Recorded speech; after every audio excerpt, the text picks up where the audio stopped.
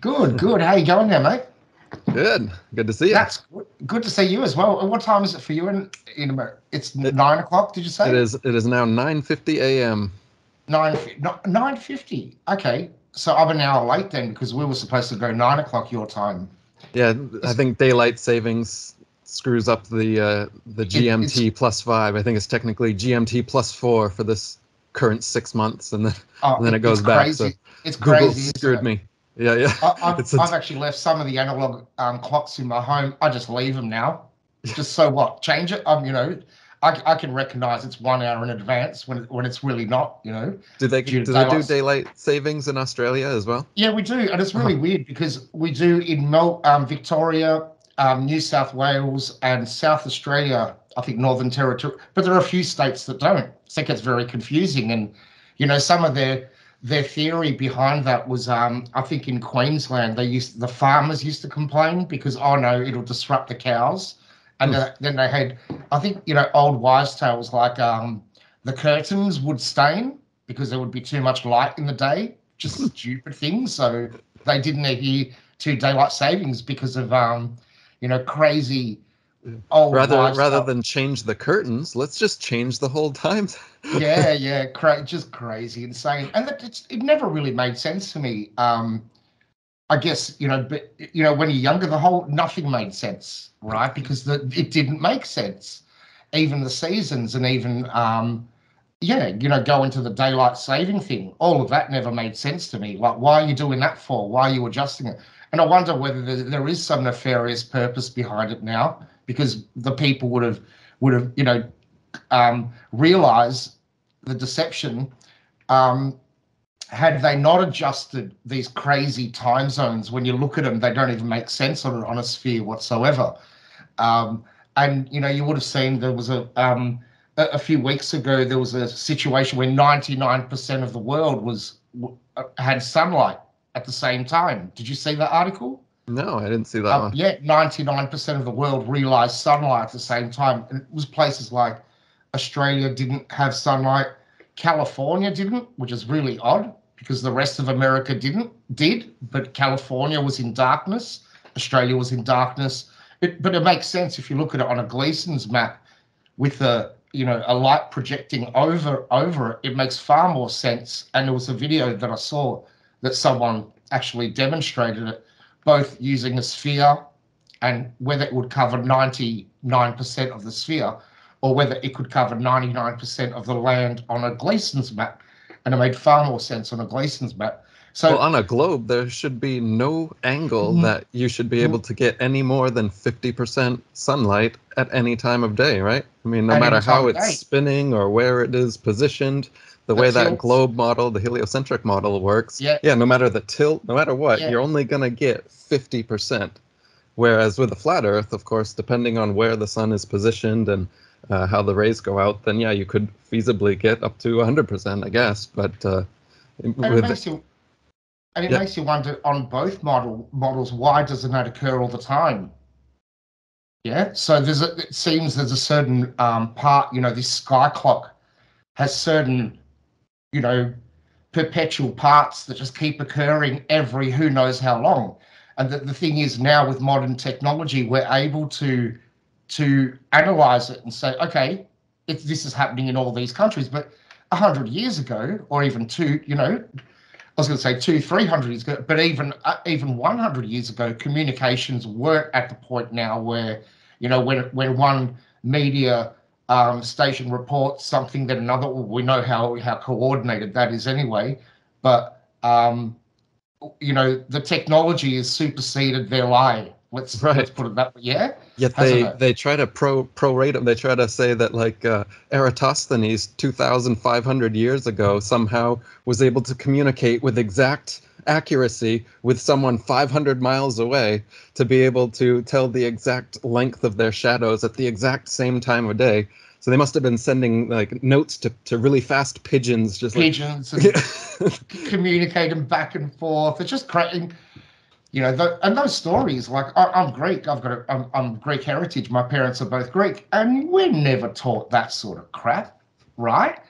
You know, you know how everyone goes, oh, the Greeks, just, you know, not really, because even my parents are very, and I speak with my uncles and many Greek people, and it's not, it wasn't scientifically, you know, um, proven as everyone accepted it. No, not at all. Exactly. And if you go back to the Bible, like go back to the Greek Orthodox Bible, it never mentions a, a, a sphere whatsoever and it's based on a geocentric system, and that's what most of the Greeks actually believed at the time. You know, Plato and um, you had many, many um, philosophers who were always questioning the shape of the earth beneath their feet and what was occurring. And it was usually, and if you look at many devices that were built by the Greeks, the Antikythera device, the astrolabe, they were built on a foundation of a geocentric. You know, they're held planular planet, aren't they? You hold them flat and everything moves above you. And so this notion that the Greeks, because of Eratosthenes, or you know, um, how you know you could people pronounce it in very various ways, um, but he wasn't a very well-known Greek, and I think it's been mentioned on a few channels that his name didn't appear till you know till most recently, I'd say, um, you know, but you people use him as empirical proof. Let's trust a guy two and a half thousand years ago with sticks and shadows. And, and the story is just preposterous when you dive into it. I think I wrote about it briefly in my book because when I started, you know, I, I wanted to debunk flat Earth like everyone else did. You know that that story you hear, and one of those was the Eratosthenes experiment. So looking at at the varying um, stories, you know, sticks and shadows, then you'll get someone else, oh, he used an obelisk. Well, was it a stick or was it an obelisk? Oh, Neil deGrasse Tyson, oh, it was a well. Well, yeah. what, what a well or was a stick or an obelisk? Right. You know, it, it should be documented. Yeah. It keeps changing, doesn't it? Or was it a combination? Sometimes they do use a combination of all three, or an obelisk and a, and a well, or a stick and a well, or something like that and it's just the story, you know. But if we're really going to look at shadows to measure our environment, that's just insanity. Because I've never done that before. Have you? Do you ever go, oh, how long's how, how you know what are the dimensions of this car or the wheels? Let me measure the shadows. you know. and it's still like the most oft cited proof when you ask people today, you know, how do you know, you personally know that the earth is a globe? It's like, well, this guy 2,500 years ago, he did this thing with sticks and shadows, so obviously it's a globe. it, it must be. I, either that or the CGI photos and fisheye lens videography from NASA, and you know they're convinced. it, it's crazy, isn't it? And then they never. And then when you bring up, um, you know, proof using modern day equipment. Oh no no no no, refraction. Well, did did Eratosthenes account or you know the shadow guy account for refraction? Oh no no, that's different. Well, what do you mean? Yeah. So they they just want to you know cherry pick, and I don't blame them because it's a very hard one to get over the globe, you know, the globe thing, and you know, for me, I I um got on the internet. I remember first you know getting dial up. I think it was in 1996, and you know the internet wasn't like it is now. You got social media and you got sharing and you got all this, so you had to dig down and find information. And I don't know why. I, I met a guy actually and he um, I used to be a salesperson and uh, and a salesman, and I met a guy. He was probably the first conspiracy theorist I ever met, and I went to a meeting hoping to sell him something, but the whole two hours were, oh, the military-industrial complex, and I didn't even know what that was. He was sitting there telling me how corrupt the military are, and that was probably my first conspiracy theory. I was maybe 25 years old, and again, so when I did di- get onto dial-up internet, I thought, oh, what can I search for? Sort of, oh, conspiracy theories. And then back then there was very few websites, as I said, but there were some pretty cool sites compared um, compared to now. But one of you know, I went down the rabbit hole of aspartame or aspartame, however you pronounce it, you know, artificial sweetener. And then I remember getting because the moon landings always intrigued me. So I looked into the moon landings, and it was a pretty good site then you know, very vanilla sort of site, but laid out all the arguments um, about the moon landings. So I was fully aware of the moon landings being fake for like probably since 1996, 97. And then coming across Flat Earth you know what, in 2014. I can't believe I was so brainwashed, right? I knew NASA was lying about the moon landings, but I just just couldn't accept that they would lie about or could lie. Like it's a, you know, it's a variation of that question: why would they lie? How could they lie? You know, when did they start lying? There's the hot, you know, the when, how, when, why, who. You know, that thing we do as children. Um, but yeah, I, I couldn't believe that, that I was, you know, really, you know, hardcore globe earther and I hated flat earth. I just, the concept of it really just, you know, just didn't gel with me to start with.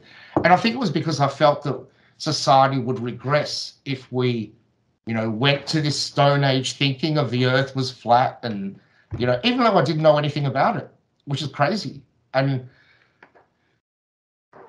I was going to ask what- you how, that's what they kind of propagate out there, isn't it? Is that the idea of a flat Earth was believed by our, our stupid ancient ancestors, but then our smart modern thinkers, starting with Christopher Columbus and everyone, you know, thereafter Copernicus and and Galileo and Newton, and these are like the forefathers of modern science. So they they teach us this, and subconsciously it feels that way. It's like, well, if this thing were true, the flat Earth, then that would mean that all of the greatest thinkers, you know, in modern history were wrong, or, Yeah. or or or bigger than that, were part of some conspiracy to delude us all, and it just seems far too vast and involved to even be possible. And I had the same thoughts when I was first looking into flat Earth books and everything. In the back of my mind, because you want to cut it off your list, like tick it off your conspiracy theory list. It's like, you know, you look at JFK, like you said, aspartame, moon landings, Yeah. got it. And then you, you come up to flat Earth, and you're like, well, that's so ridiculous that I should be able to tick that one off pretty fast. So let's let's just go for it. And you look into it, and the the things, the way they talk about it, it's direct measurement and you know actual mathematics and observation and empiricism being used versus when you watch a Nova or NASA or whatever Ge- National Geographic documentary that has nothing but CGI and all this imaginative language and you know all these planets spinning by you and stars and and it, compared to what I'm reading in the flat Earth book, it's like this is bare bones. This is like uh, if I was doing construction or something, versus uh, you know the NASA stuff, which is like this is like fantasy, science fiction, Star Wars, Star Trek type of stuff.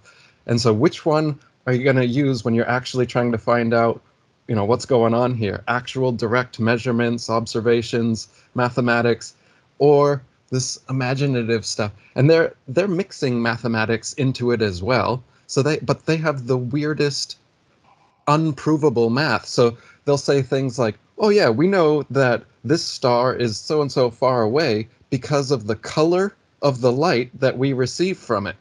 And if it's a certain shade of red versus a certain shade of blue, they determine whether it's coming towards us or moving away from us. And they have all of these supposed and then math based on this color theory which is so if you can have a totally internally consistent mathematical model based on the heliocentric system and have your you know nerdiest mathematician confirm that yes all the mathematics works but that doesn't mean that it applies to reality. You're That- basing that's it on right. on something like oh color change therefore 1.7356 because this you know level of hue change between the red shift and the blue shift.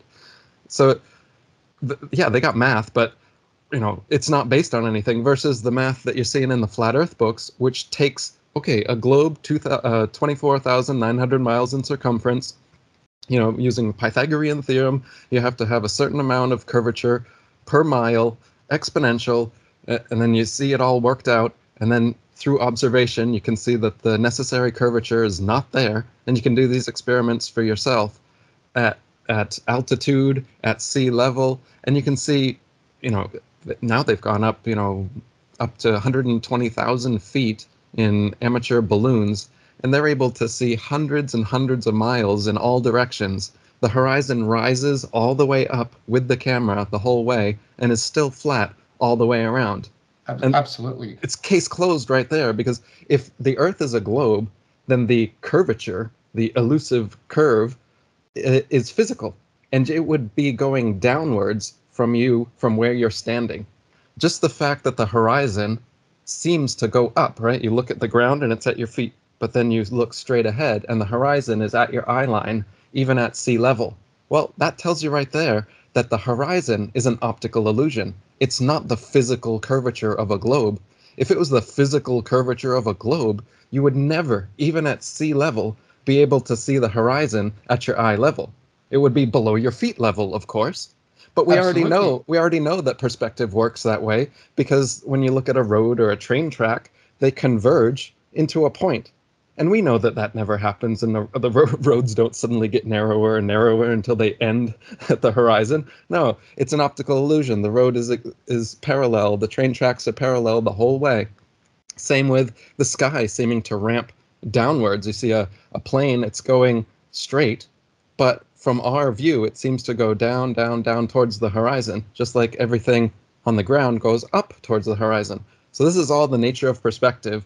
And Yeah. globe earthers, like somewhere in the back of their mind, they know this. and They know it. they try to accept it and also not accept it because the earth has to be a globe so so uh, uh, but the reality is you know wrap your mind around it if you go up 20 miles and the horizon is rising with you the whole way it is not the physical curvature of a globe this is an optical illusion of perspective that follows us everywhere we go so when you talk about ships disappearing over the horizon or whatever they're not disappearing over the physical curvature of a globe. They're disappearing because they've passed the vanishing point of perspective. And we're not taught perspective unless you go to art school.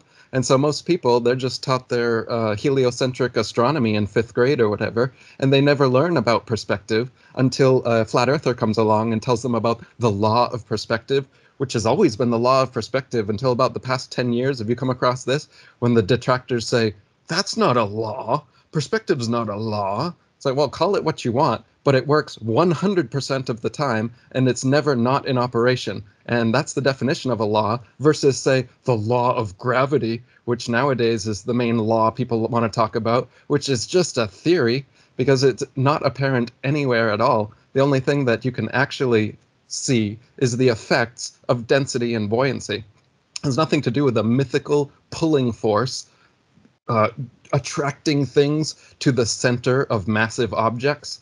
Nowhere apparent. Supposedly a law, but they can't give you a single example that you can demonstrate. There's not a Oh, single mass- object on Earth large enough to attract the smallest object on Earth to it. You know, no matter what the big, the biggest building, the Burj Khalifa, or whatever you want to think of, the biggest structure we could possibly build is not doesn't doesn't produce enough gravity to even attract a dust bunny to it. Yet everybody believes that it's a law that all things operate based on. Yet when you say law of perspective, they're like, that's not a law. That's not a law.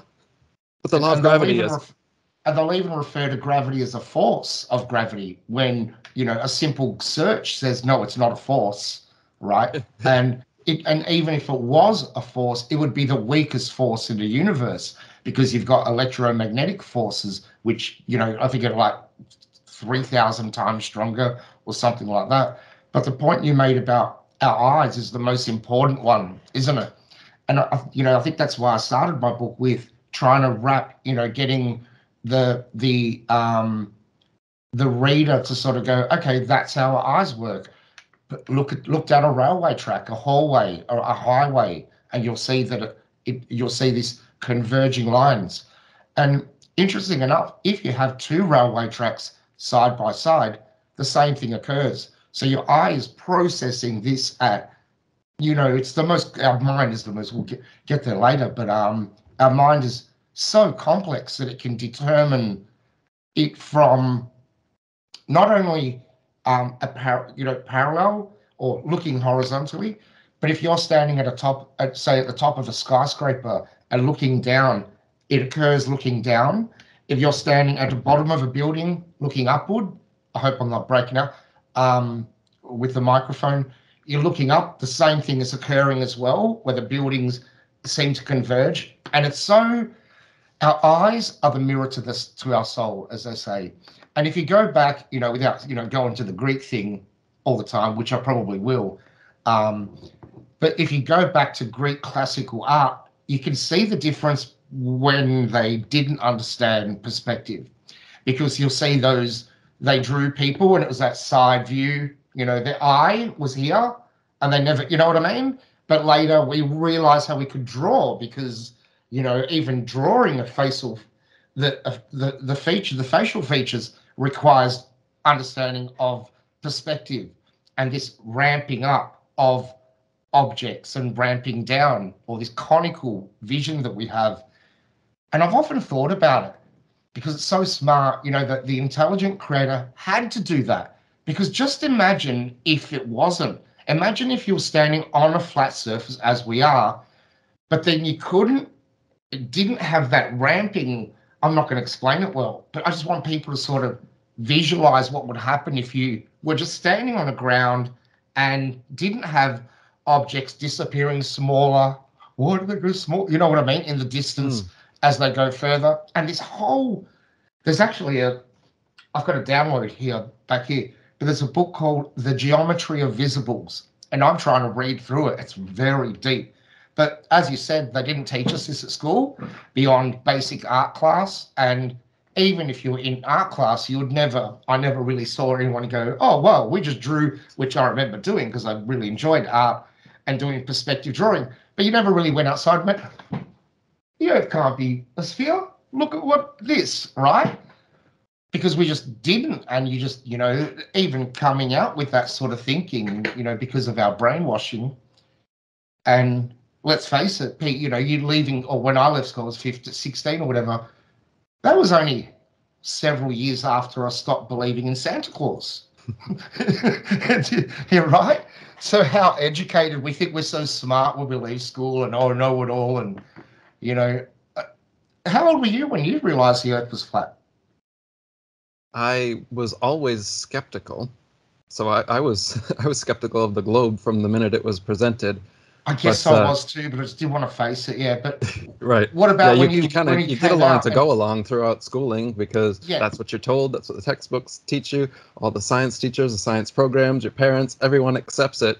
So to me, it felt kind of like trauma-based mind control in the sense that you compartmentalize it and stash it away, and you never really think about it again because it's it, it was one of these things similar to Santa Claus, I guess, where it doesn't really make sense but for the time being, everyone's going along with it. So what are you going to do? You're going to so it must you, be true. Yeah, I mean, it just who kinda, am I?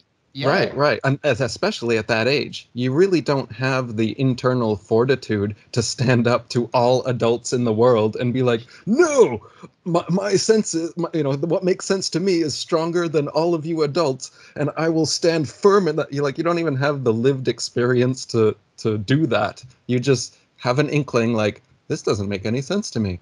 But everyone says it's true, and everyone acts like it's true.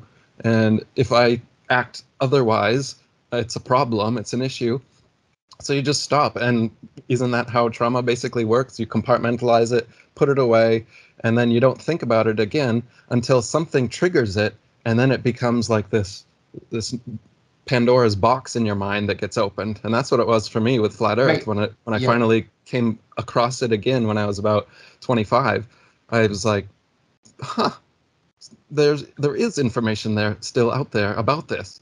I need to get get into it, and it took me years of reading these old flat Earth books and looking into because uh, before although NASA wasn't formed yet, so I was getting answers for questions that uh, someone in the 1860s could answer for me. But uh, since NASA was formed and all, all of these, you know, the globe images, and what about this mission, and what about these videos, and all that. So then I had to try and do my own deep research online through video stuff and finding anyone that was on YouTube talking about it, or there was websites for the moon landing stuff.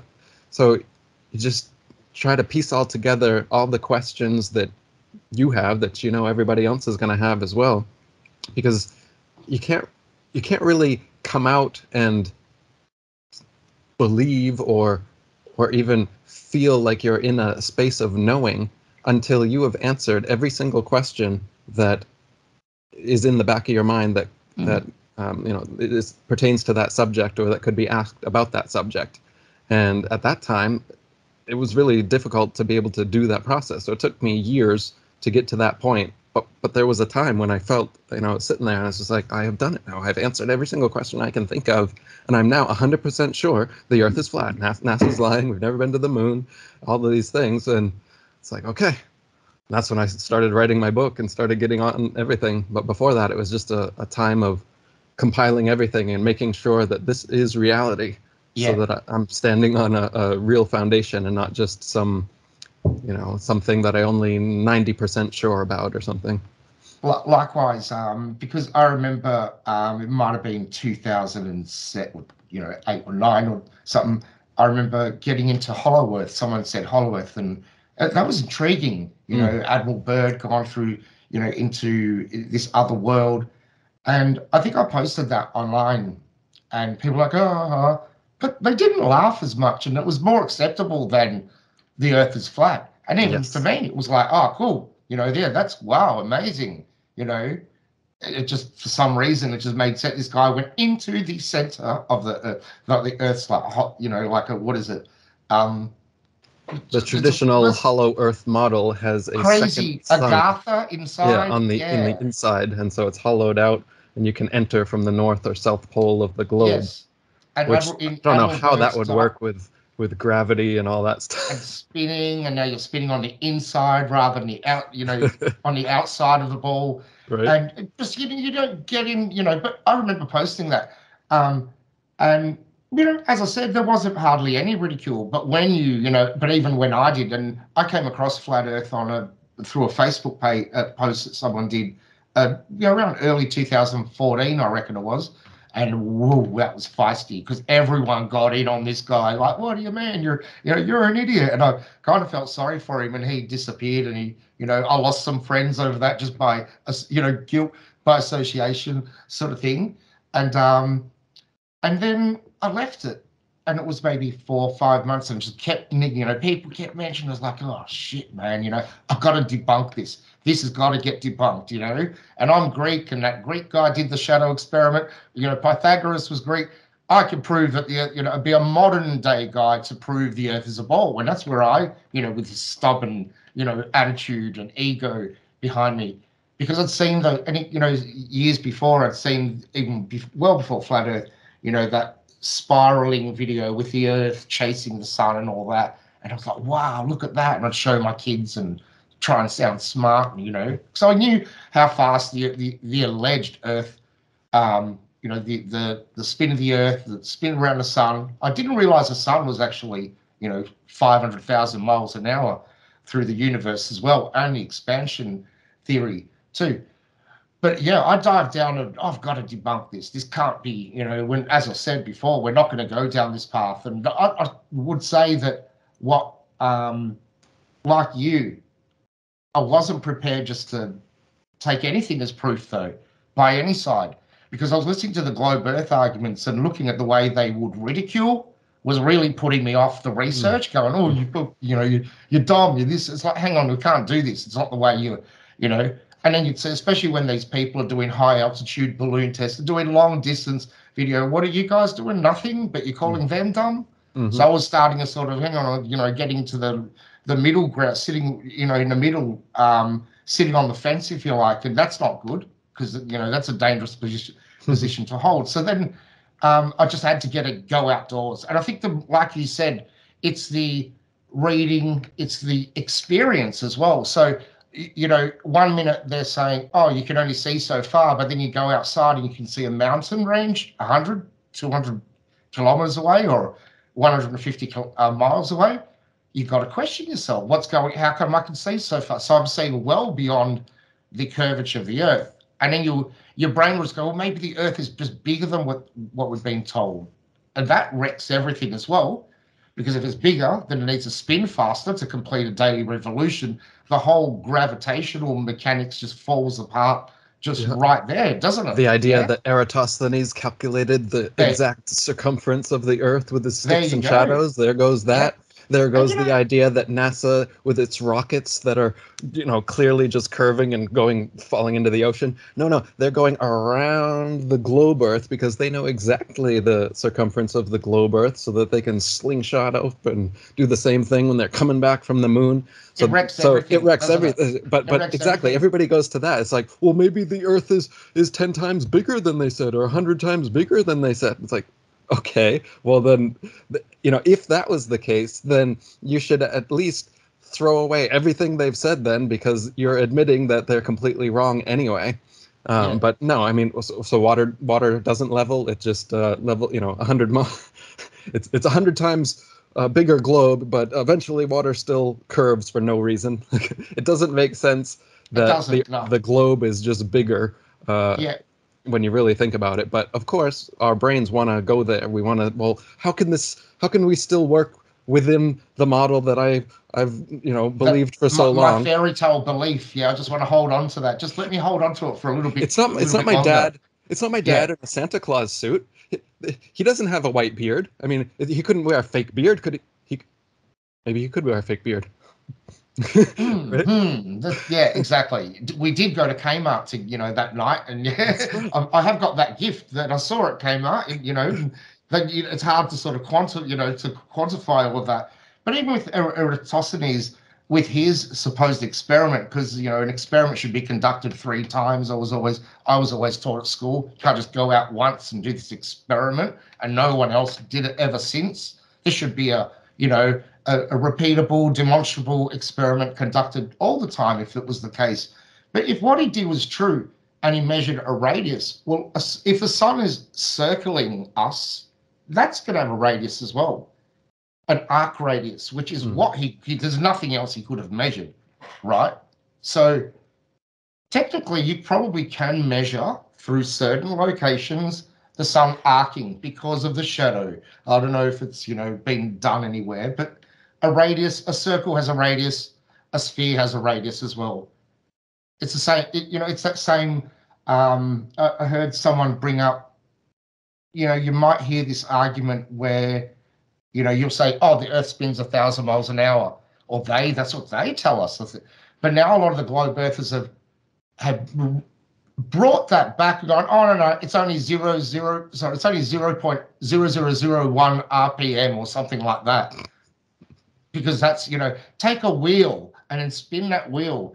Well, the sphere, our Earth is not a wheel, it's a sphere. And a sphere and a wheel are two different things. The dynamics behind it, the mechanics behind it as well.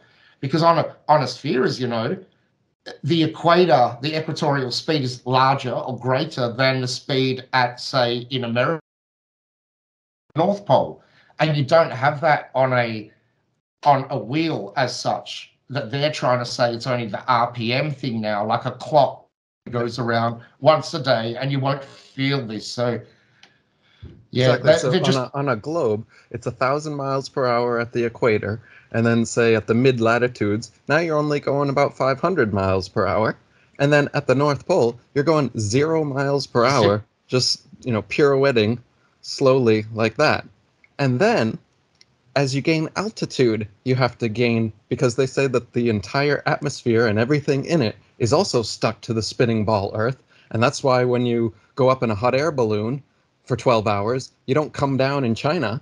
You come down right where you were because supposedly the entire atmosphere and everything like gel is just spinning right along with it. But that means that at say, you know, te- uh, 5 miles high, 10 miles high, well, guess how fast you have to be going now? To the point that when they're at the International Space Station that's supposedly up there, something like 200 miles high, they got to be going 17,500 miles per hour at all times just to keep up with this supposed spinning ball Earth and atmosphere that they're in. And of course, that keeps going to some undetermined altitude that they don't even tell us. So at some point, the spinning atmosphere that's going over 20,000 miles per hour, allegedly, if you get to that point, and apparently they did because they- they've gone to the moon and Mars and wherever else, whatever craft they're in has to pop out of this amazingly fast spinning atmosphere into non-spinning, non-gravitized, non-atmosphere of outer space. Where what is the point that that happens? How could that possibly happen? How could it attract thing, the atmosphere like gel and everything in it so perfectly, but then there's this it- one point that you escape from, You go, and then you "Oh." reach into outer outer Yeah. space? Or are you saying that it's not like that, and it just slowly the the atmosphere slowly starts to release things to an undetermined rate? But at the height the of the ISS, line. everything and and geocentric, uh, geostationary satellites and everything, those are all spinning right perfectly with the Earth. Uh, at the correct latitude too. Like I said, if you're at the mid latitudes in the north, well, then it's very different from the equator or right over the the poles. And they they think that this math just works fine with planes taking off and landing and going in all different directions all the time. If, if if there was all of these speeds at different latitudes and altitudes that had to be taken into account for, for planes, there would be no pilot that could ever navigate, take off, or land on, on a single runway o- on an Earth spinning that. It would be completely ridiculous. But nobody thinks Neil- about it. Neil, Neil deGrasse Tyson, um, I saw a video, I think I put it on my YouTube channel um, a few days ago, but he's trying to say now that the Earth is spinning, and you know, we are because he's trying to justify the tides. And he said, Oh, forget what you've been taught at school about tides. It's not the moon, it's not this, it's we are spinning into the water. He said, So picture the water as a solid, and the Earth spins, so we're spinning, and because we go into the bulge area and we we're just insanity. And the guy looked at him and he's going, Really? He was like, Yeah, you know, and you know, you know, when Neil's like trying to act all friggin' sophisticated. And like, "Re- when did that change, Eric? Because Right. I didn't realize never that changed. Did Oh, you he's, change? always you know? coming, he's doing that all the time. Neil comes up with these little metaphors, I think, when he on his when he he's in the shower or on his way to bed, and he's just like, "I'm gonna say that the field goal that the football kicked because it missed was because of the Coriolis effect and the spin of the Earth. Had nothing to do with the actual kick or the wind speed or anything like that. No, no, it was the spin of the Earth." Unbelievable. That And he tweets crazy. about The- it, and, and he goes on interviews Tigers, talking about it. Yeah. Yeah, I think that was the Cincinnati Tigers, wasn't it? And you know, uh, the deflection of the Earth like caused the just to skim by, and he shows a picture of it, and yeah, Sure, sure, Neil. sure, it did. But you know, um, these long distant, long, um, you know, ski jumpers that go down the mountain, they target out, they go like a thousand, you know, a thousand feet or something. Do they have to account for this deflection? Well, just wait Does for one of them golf- to, to, to radically alter their course, and Neil will Neil will be on his podcast telling you exactly why. Yeah. I'm sure.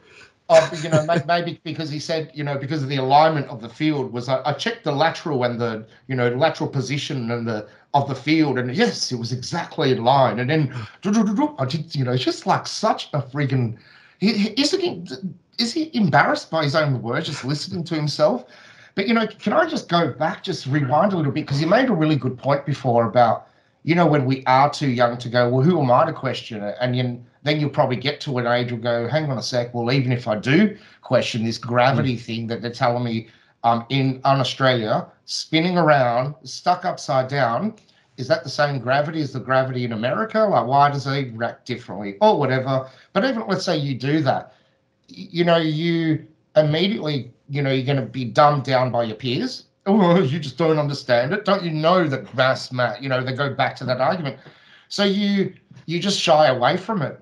Um, that's why I sort of asked you, you know, what age you were, because they're very critical. You know, you know, being too young, you're not going to get out. Being too old, you won't do it as well, because then you've got a career behind you. You don't want to lose clients, your job, your, you know, if you're a pilot going out and saying the Earth is flat, right? Questioning it. And it's this- more trauma again. So, like I said, it was Mm. trauma based mind control when it was introduced to you as a child. You compartmentalized about it, forgot about it for a while. And then when it's brought up again and you want to do anything besides just ponder it for yourself, meaning talk to your friend, your family, anyone about it, you're going to get more trauma now. you're going to get more trauma. Yeah, for sure, more trauma. all, all Because- these abused Stockholm syndrome victims around you are going to see you standing up to the abuse, and they're all going to be like, "Stop it, stop But it," and they're like and they're going to give you more trauma to make you yeah, yeah. sit right back down. They're going to you know ad hominem attack you and do all of these logical fallacies to take down your argument. Most of them are based on your character. the fact how could you possibly believe that why would they do that Uh, they'll come at you with incredulous uh, attitude and suddenly you're the crazy guy and Oh. Friends family you've known your entire life will now treat you totally differently because i mean that is trauma that's very traumatic and it's unfair and it should be a sign to people to take note like to take even note. even even if this thing was true like even if flat earth is the dumbest thing ever and the globe is reality why are we treating people who are questioning it like that yeah, do yeah. we do we do so that true. with with all other fringe groups So and true. Minorities is that accepted for That- minority That's, exact, that's exactly right. That's exactly where I was going to go. That in a world of don't bully people, don't Right. do that, don't say that. That boy wants to wear a dress. Don't leave, you know, leave him alone. Oh, but flat earthers, rah, unleash the beast towards them, right? Right. Unleash the kraken. You know, go get them. Doesn't matter what you say, because even on on Twitter, you know, if there's you know w- there's a discussion in Australia about um, allowing the Aboriginal Indigenous community, you know, into the constitution. So if I go and comment on any of that, people go, and I might make a pretty good, co- a pretty darn good comment. But people then go to my profile, go, oh, he's a flat earther. Come back, go, oh, but you're a flat earther. What would you know anyway? You know. But I, I think the tides are turning because then I get people coming in going, oh, well, the Earth could be flat, and I think you know, like credit to you, like you're, you know, like known to uh, to be a champion in this cause for how many years, right? And a lot of different topics, but in particular, flat Earth. Um, I think there's a tipping point, and it's coming soon. Yeah, I think that tipping point of what you said, the you know, people go, oh, hang on, don't they question why he's been bullied and and for so long? Because I've been, you know, publicly seven, eight years as a flat earther, and now I, I should get a lot of my friends who first pointed the oh, oh, oh, did all that at the pub or whatever, you know, that was feisty situation. A lot of them now are like flat earthers. Mhm. that's cool. And I love that, you know, and you see just, that, you know, because they see, I think most people do are, you know, um, I think what we went through in the last two and a half years, two and a half, I don't know if we can bring up the, you know, lockdown, all that sort of, if you want to talk about that. But that opened a lot of people's eyes, didn't it? It's Mhm. like, oh, wow, there can be a worldwide government. I watched your video today on the New World Order one that you just put out. And if you put that out, if they, people saw that five years ago, no way. Well, you, it's there now. They've heard their government say New World Order. And you wouldn't believe the amount of times uh, Australian ministers during lockdown going, oh, look, there's a New World Order coming. Just deal with it. It's Mm. like, what? He said it. And the lady, another minister, female one would say, and it's like, what? This has been dropped too often. You know, that was what really weird how they, you know, they maybe they thought they were in the luck, you know, they were going to win the game and they just like got a bit too cocky and started Mm. going out with all this shit until they realized the narrative is folding. It's not working, man. And, but to hear, um, you know, to see what happened, and then these people go, "Well, how could they lie? How could all governments lie about shape the earth?" Like, really? Didn't you just Mhm. see what happened? Right. all of them forced everyone in the world to stay indoors for a Two determined weeks? amount yeah Yeah. like and you're gonna say that how could all of the governments be in cahoots about some something? Like well there you go. Now you've seen it. How They can did. that be your main defense against looking into flat earth or other government conspiracies if you think that multiple governments can't be in on it? Well they they're in lockstep on this thing that you can clearly i mean you can you can research the heck out of this and you're going to find it's nonsense. And everyone went in lockstep over this nonsense so you know that is no longer a valid excuse for, for went- literally any conspiracy theory that involves a, a worldwide uh, group Definitely, Yeah. yeah. And, and you wonder, you know, like when you look at this group that just, you know, perpet, you know, perpetrate this on onto us, they're not that big. It's not that big a group compared to us, right? Right. only, you know, well, you know, ten thousand people. What we do, it's nothing, man. You know, Right. it's not a football stadium of a. I mean, the top level people. I, I wouldn't even say it's ten thousand Mhm. probably exaggerated there. But um, what about people at the top level space program? What ten thousand? You reckon? Not even again? Would you Right. say? no not not even really. No. there's only 500 plus people that have claimed to have been in outer space.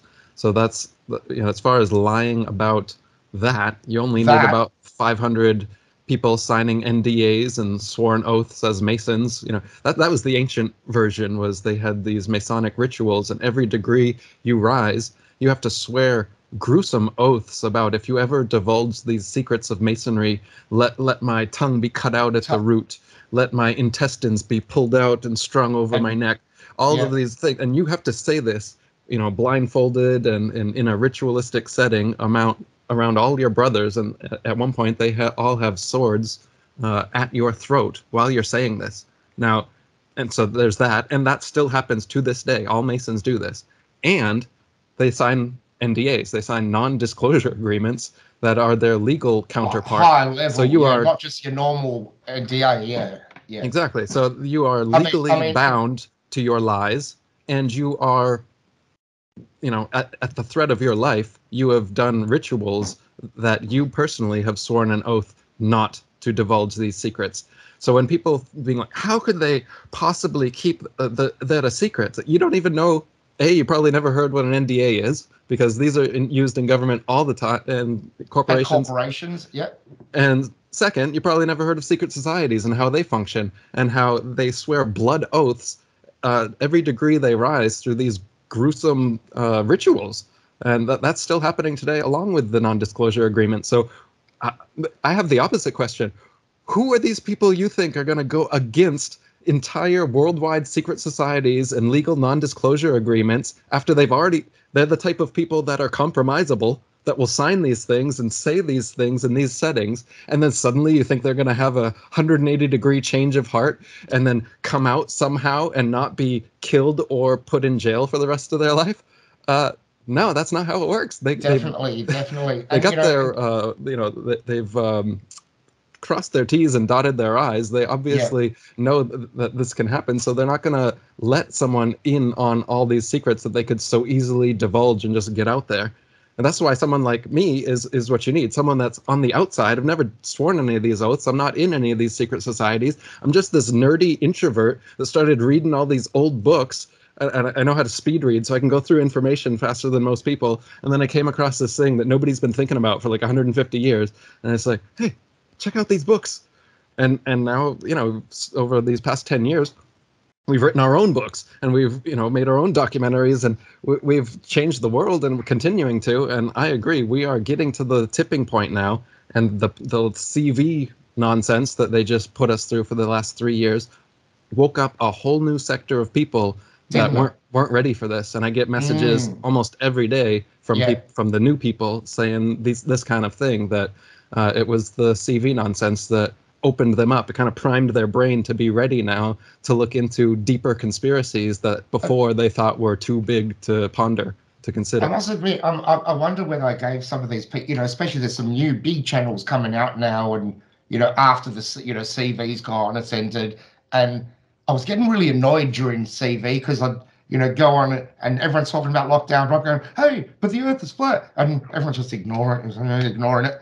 And I, I, was like, I remember saying to my sister, "Oh, the, you know, they're just baby truthers or whatever. You mm. know, um, you know, they're you know not talking about that. You know, they're just like, um, all, all they want is just make money out of this thing or you know whatever, just get the fame out of being the one. You know, but I don't blame them, right? Because now I see a lot of them coming out, right?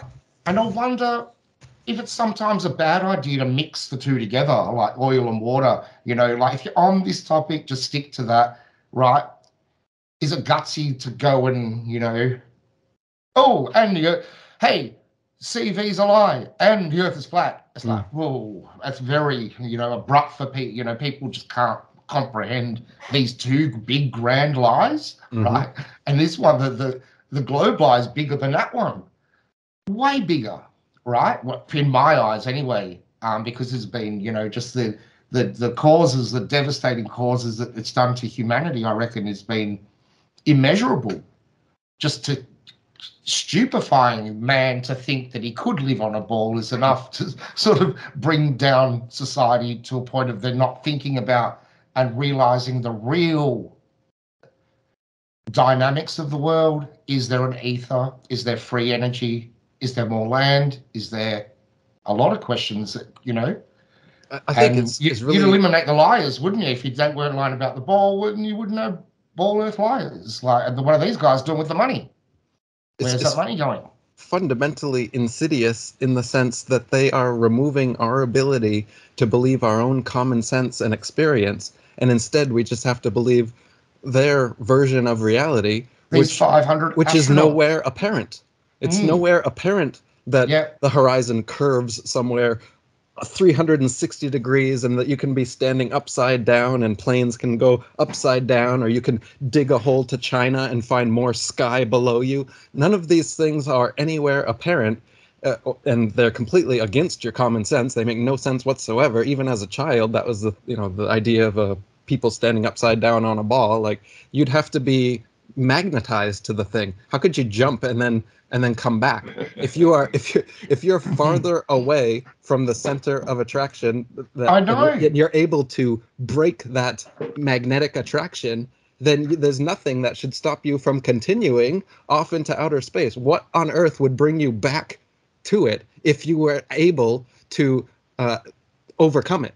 It should be like this. You should have to take one foot and and then and it should be very Exactly. difficult to Yeah. put it back down if Yeah. gravity was a real thing. And the next foot, and it's just try to maybe I'd even have to slide it across the floor.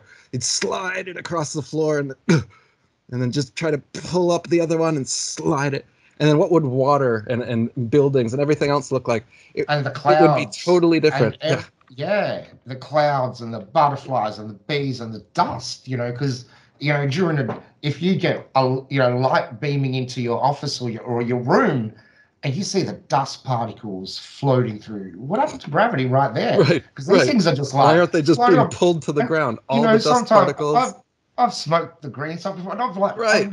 oh, far out, look at that, They're just floating around, and it's quite miraculous because nothing is still when you Yeah. look at them. Everything's moving, and the air is a fluid as well, and it's quite remarkable how. And that's what I was saying. I think we've been stupefied by the fact that we haven't had the ability to look at this remarkable creation that's before us um, the way it should be intended. The thing is, they know it. So why are they? Why do they know it and we don't know it? Right? That's like having you know you live in a mansion and there's like 25 rooms. Your family only knows about four or five of these rooms. The rest of it, only you know about it. Would you do that to them? And it'd- be quite empowering if you did. Mm. Because at night, everyone go to bed and you go to this billiard room and the theater room or you know whatever room and you know you'd feel not that you'd do that to your family it'd be really stupid to feel empowered over but let's say they were strangers and they didn't know yeah but there's this thing of of they feel that they're empowered over this knowledge over us. And the funny thing is we get attacked for oh you know do you feel special about knowing the earth's flat or something? Oh, what do you mean? You know you should a little bit you should too. Because when you have that realization that you're not spinning on a ball, that is a grand freaking day. When you connect those dots and you, you know, especially after resistance, and then you go, there's just nothing more. There's nothing more here. I've seen the, you know, curve. I've, you know, water lays level over rest. Um, the impossibility of space and the, you know, having an atmosphere adjacent to a vacuum. Um, go on and on. The way our eyes work, the horizontal RAM, as you said. And you know, you could have it. You, you know, it, it took me seven months actually to finally have the guts and go, I was gonna say, look, even though I knew after like the first couple of days of investigation there's something wrong here, I was like you. I had to know sort of everything, even though you never really can know everything, can you? Right? And I think that's part of the acceptance as well, going, you're not going to know everything. We can't know everything. It's just the impossibility of it. Um, but that day was a huge day. I think, you know, every hair on my body just stood on end, you know, like connecting to the ether. It's like, wow, cry, you know, like just crazy. Like, imagine if the whole world went through that and we just all went, what? You know, we're all brothers, we're all sisters, we're all like family effectively. Because whichever model you believe, you know, whether whichever story you believe, the Adam and Eve story or the evolution story, where one man, one thing evolved became two, that's crazier than the Adam and Eve story. Whatever, they're both they're both questionable. Mm-hmm. But that means if every offspring became from these two people, then we're all brothers and sisters effectively, regardless of color, creed, and the they, tongue they always talk about how they need like an off-world enemy to be a unifying factor for humanity. They, they always talk about how you need some kind of alien enemy to unite all of humanity. Well, rather than a fake alien invasion, which is what they've got planned for us with Project Bluebeam, the the real enemy that humanity can come together and realize this is why I call flat earth the Achilles heel of the new world order is this rather than us all unifying against their fake enemy that they're going to create for us as a reason that we all need to come together under the UN uh, to fend off this alien threat, we have a real enemy, which are these rich psychopaths that have taken control of humanity and lied to us for so long about things like aliens and evolution and the Big Bang and the globe and all of this. And we can unite with that feeling that you and I and everyone has had when you finally get to the realization that you have been lied to. The earth is flat. All of this, you know, the, the, the craziest notion that uh, you've been taught is actually one of the most fundamental and obvious things ever. And that's that's the reason why. Why would they lie? To me, it's to remove your common sense and to make you look at them as authority figures. So you're like a little child again. The second you can no longer believe your own lived experience and common sense about this, the most fundamental thing in reality, thereafter, every single thing, every single intellectual thing in your life, you've now been stunted. You don't believe your own common sense or lived experience. You believe authority figures and their explanations. So that's what you're going to go to for the rest of your life for everything else. You're going to look up to these authority figures, which these secret societies place in power positions for us in the media. So you've got your heroes and your anti-heroes. You got your opposition and your controlled opposition. So and that's why they got the eagle and the Freemason looking at yeah. both wings. It's got two heads because they don't just give you your movement. They give you the counter movement to your movement as well. So no mm. matter which side you're on, you're being controlled by figureheads who are all part of one world system. This this great work that we're talking about, the new world order. Definitely, yeah, and you know when you know even the video you put out today, when you look at the the family and the bloodlines that are behind it, it's a, it's a very small group of people that have started this and that, that control it. And you sort of you know you'd wonder you know why would they lie? Well, I don't think it's money because these people have more money than they even know what to do with right? So kind of put that aside. print it. yeah, exactly. So they don't really need it's not the money thing. It's more of a control, controlling the mind, which is what government means: govern, govern, and mentor, and control mind. Um, and how do they do it? I think I did a bit of a you know write up on this in my book where you know look at what they you know controlling the mind through the government, you know, entertainment. Um, you know all these meant words you know all the everything is related to this you know, controlling your mentality through, you know, trauma, um, trauma-based trauma, mind control. Yeah, and what wasn't this three years of CV locking us down, telling us that there's a threat that's gonna if we don't, uh, if we don't, you know, oh, don't breathe oxygen or else you're gonna die and people are believing this. So think of the power that these people have now because they've removed our common sense and lived experience. So well, why would they lie? They're lying constantly. They don't just lie about this. This just happens to be one of the oldest and most egregious lies that 99.9% of humanity for the longest time just went along with.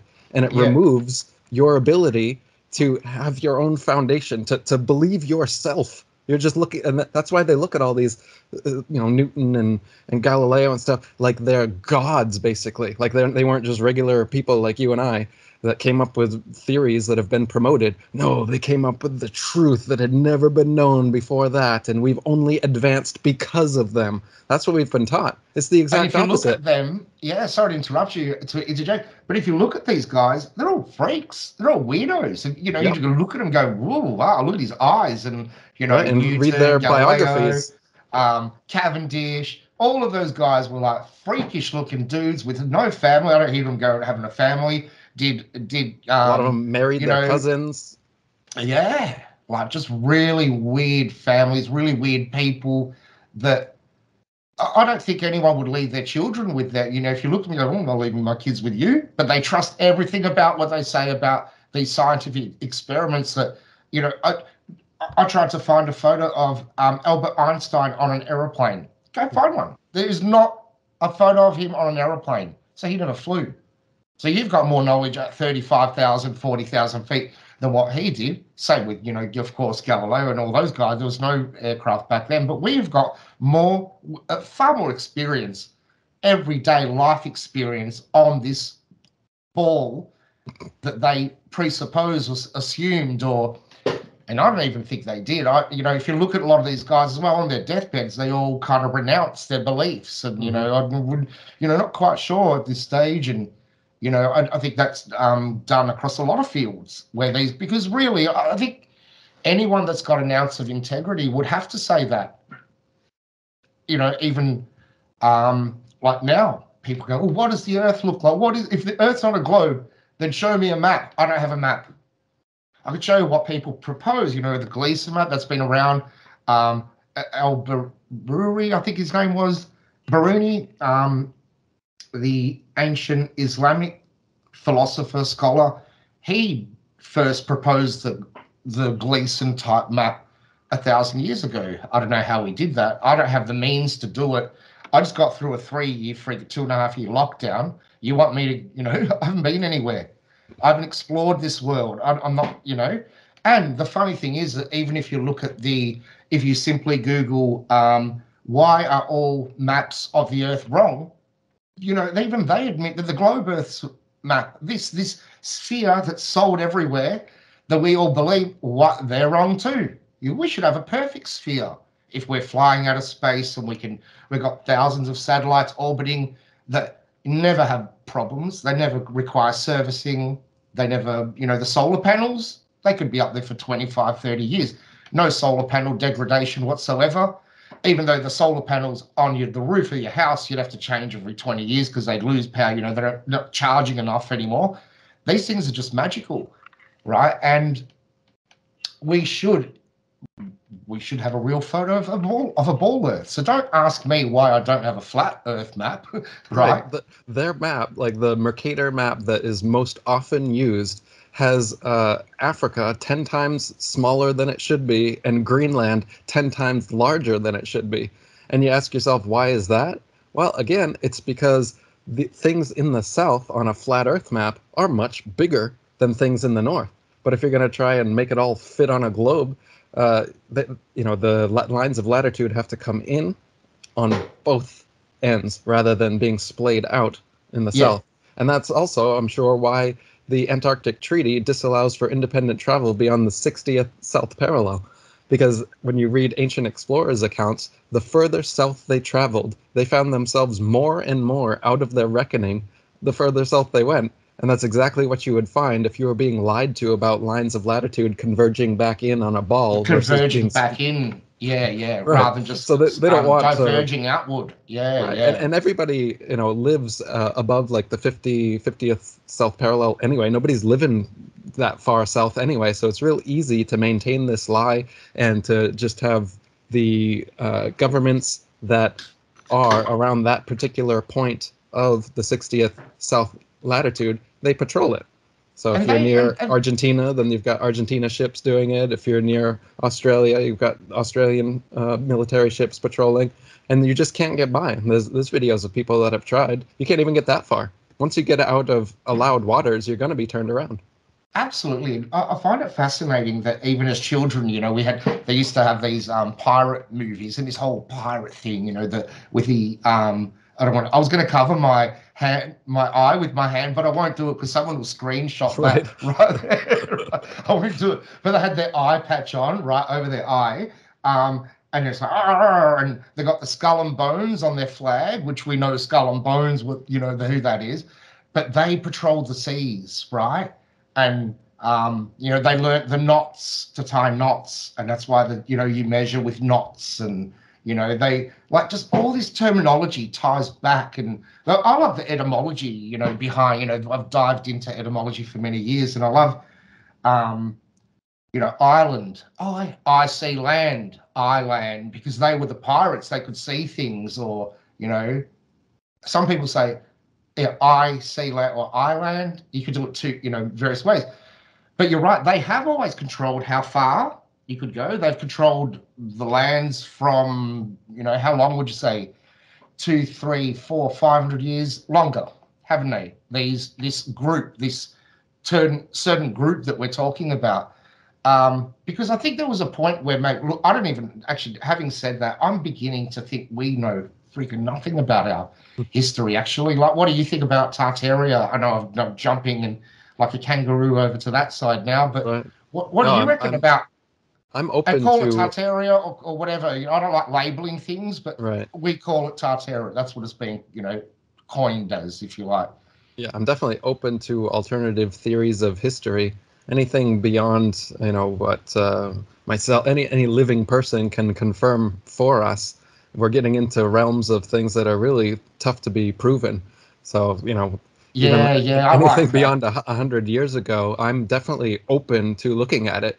Though I haven't been fully convinced by any alternate theory, be it the Oh, I- traditional Tartaria theory or the Fomenko uh, alternative chronology or any of these other ones. Uh, I'm open to all of them, and I think they are worth exploring. But at the same time, they have all the same issues that the official history has, which is that it's history. And how are we going to confirm it one way or the other? It's uh, the Yeah, more an- right. the more ancient it gets, be it alternate or official history, it's really difficult to confirm or deny any of it. So I kind of put that in a in a box where it's like it's all possible. yeah. Yeah, cool. I like that. I like that answer because I, I um, I'm the same, and you know, I, it fascinates me. I just love, you know, looking at you know those buildings. How did they build them? And you know, they're finding even in Melbourne, in in Australia, um, that they've said that under the layer of Melbourne, there are buildings under those buildings, pubs and everything. It's like, well, what happened? You know, like how come the Aboriginals didn't talk about that or whatever? Our history is just so distorted. But point being is, what can I prove? Can I go and physically prove that? Yeah, can I go and touch it? And no, that's what I like about flat Earth. That it's so it's the here and now, and anyone can go and prove it to themselves just by going outdoors and doing some basic experiments or just researching the heliocentric model. Because if that model doesn't add up, then it's not the heliocentric model, right? Mhm. It breaks it. It it it. The whole thing just implodes on itself, doesn't it's, it? it's Yeah? pretty much the only conspiracy that you can go out yourself with literal instrumentation instruments of calculation and measurement and then use them and determine for yourself that there is a worldwide conspiracy like, you know Absolutely. you, you take out an astrolabe you take a sextant theodolite a level and, and doing these measurements you can you conclude that there's a worldwide conspiracy deluding Yeah. people for hundreds of years like Yeah. there's no other conspiracy no that you that you can take practical measurements to to come to that conclusion whether it's JFK or the like the new world order like I said even Exactly, these mate. you watch that video and you can see all these people talking about it and then writing books about it and and implementing it but even that it's it's words it's it's it's a video you know it's So these other people saying stuff. It's still not concrete like oh my god they're all lying to us so much as just simply you putting a level on a you know on a on a uh, fence post and seeing that it lines up perfectly with the horizon and you can step all the way to one side of it see the horizon all the way to that side step all the way to the other side see the horizon on that side. Hasn't curved at all.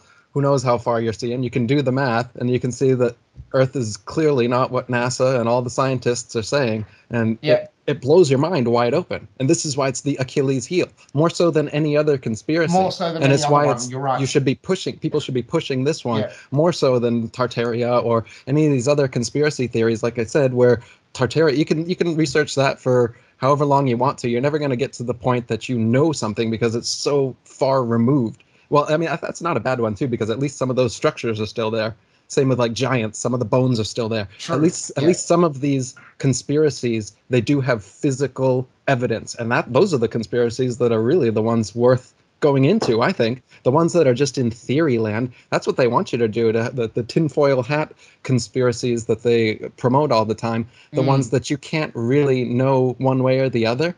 Those are kind of those should be your fun time conspiracies for for people that that are already into this. You know, you want to delve into this or that, fine Have a break, fine but, yeah. but if you're having a real conversation and you're trying to just determine what is important to let people know about like this is the one the flat earth is the one i, I think it's it's the thing that can wake everybody up because it's relevant to all of our lives and it like we said you can do it any day of the week Yeah. for And you can yourself be- and you can be a closet flat earther as well. Like a lot of people are, you know, flat earthers, but they won't tell anyone, you know, uh, for fear of persecution from their family or their friends or their colleagues or whatever. Um, but you can do that. You can hold that, and you, that is such not that's an enlightening feeling, but it's an enlightening feeling when you finally, as we were saying before, you know, you finally figure it figure it out that hey, you know, what I'm sensing, it, what I'm seeing, and what I'm sensing is reality.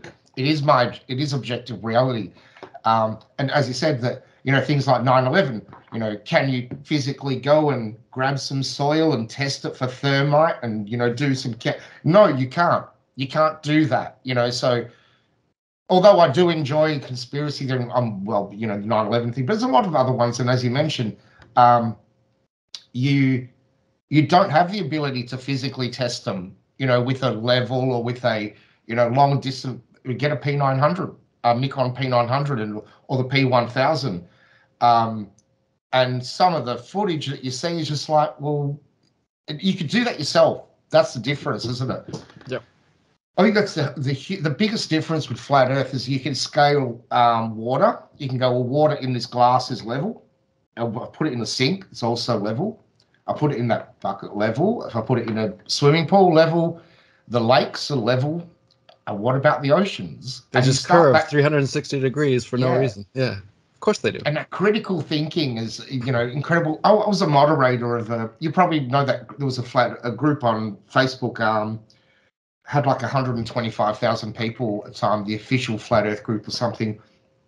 And just those daily arguments and discussions were just feisty. But the good thing is you'd see even back then people breaking through you know and i love seeing those people that are that are um, intellectually honest enough with themselves to say either I don't know, so yes, therefore I will sit on the fence, even though I lean more on the flat Earth side.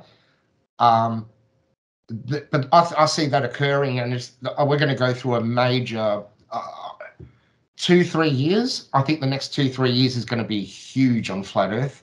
Mhm. I just see it growing exponentially now. I think. Um, did you see there was a? Or you can just go to TikTok and type "flat Earth" into the search bar. Three and a half billion people have searched for flat Earth, Mm. so it's huge. That's you know.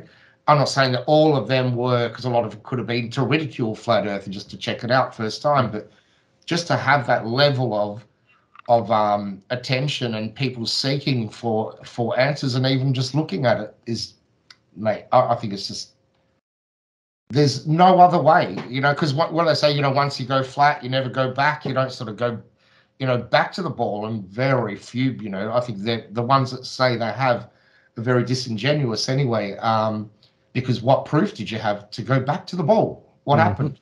Mhm. Did you get a real photo of the Earth? Did you, you know, did you get a, do you finally believe those 500 astronauts? Yeah, you know, so it's just laughable um, that there are those anti-flat earthers, though, that just consistently, no matter what you show them, you know, here's a photo of 140 kilometers away. Oh no, they'll show you a seven-mile one, and the bridge is curved. It's like, really? I'm just showing you 140 kilometers, and you're showing me here at you know seven miles or 20 kilometers. So they're I think they're doing them. They just should shut up because they're probably creating more flat earthers than anyone else out there at this stage. You know, and you know those channels that cons- consistently just go out and um, they've never written a book or done anything like that, but they'll hang shit on you for writing a book. How many books have you written so far, by the way? um i just finished my eighth book Yeah, cool. Is that flat Earth related as well, or? yeah the flat earth faq was my last Oh one yeah, of course. That was that. That's brilliant. I haven't ordered myself a copy, but I was fascinated by even the front cover of that book. and you know, I must admit, the reason I don't buy the book because I'm working on some books as well, and I just don't want to feel like, oh, I'm plagiarizing. You know, like I've read that and then, oh, I've written that, and you know, I'm trying not to um, have crossover on any topics.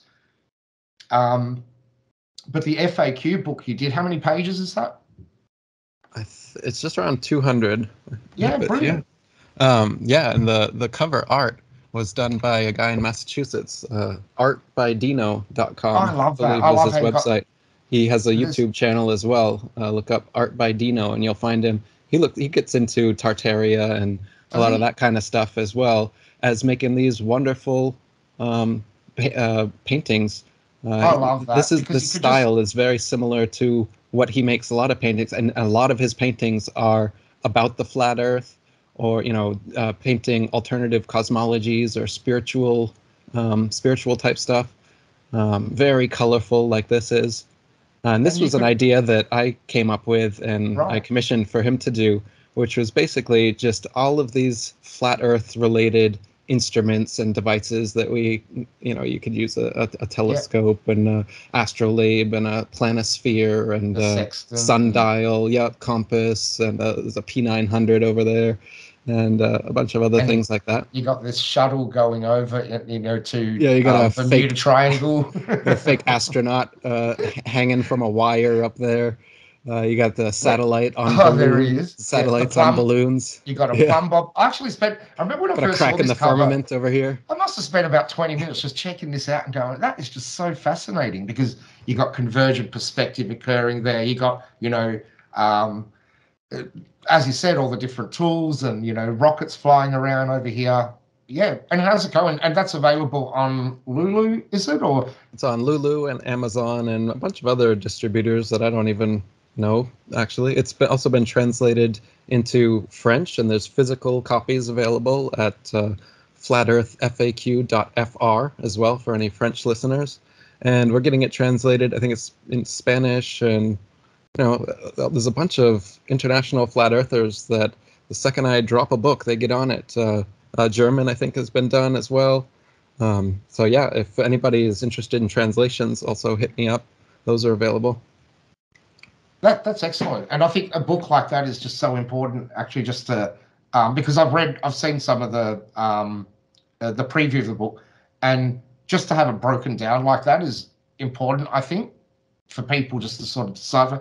And you had images in there as well. You just flick through it. This this particular one, I was finally able at Lulu. Before the internal pictures were always black and white, and I think they might have had an option for color, but it was way too expensive, and I didn't want to make my right? books Yeah, that's what I found. that Yeah. But recently, they they I guess they found a way to print color uh, internal pictures that's much cheaper. So I was able to do full color photographs for this book, and for that reason, I, this is probably my favorite of the flat Earth books I've written because it has all of the questions that, that people ask you. It's got all these great memes that you can find online explaining things in picture form in color.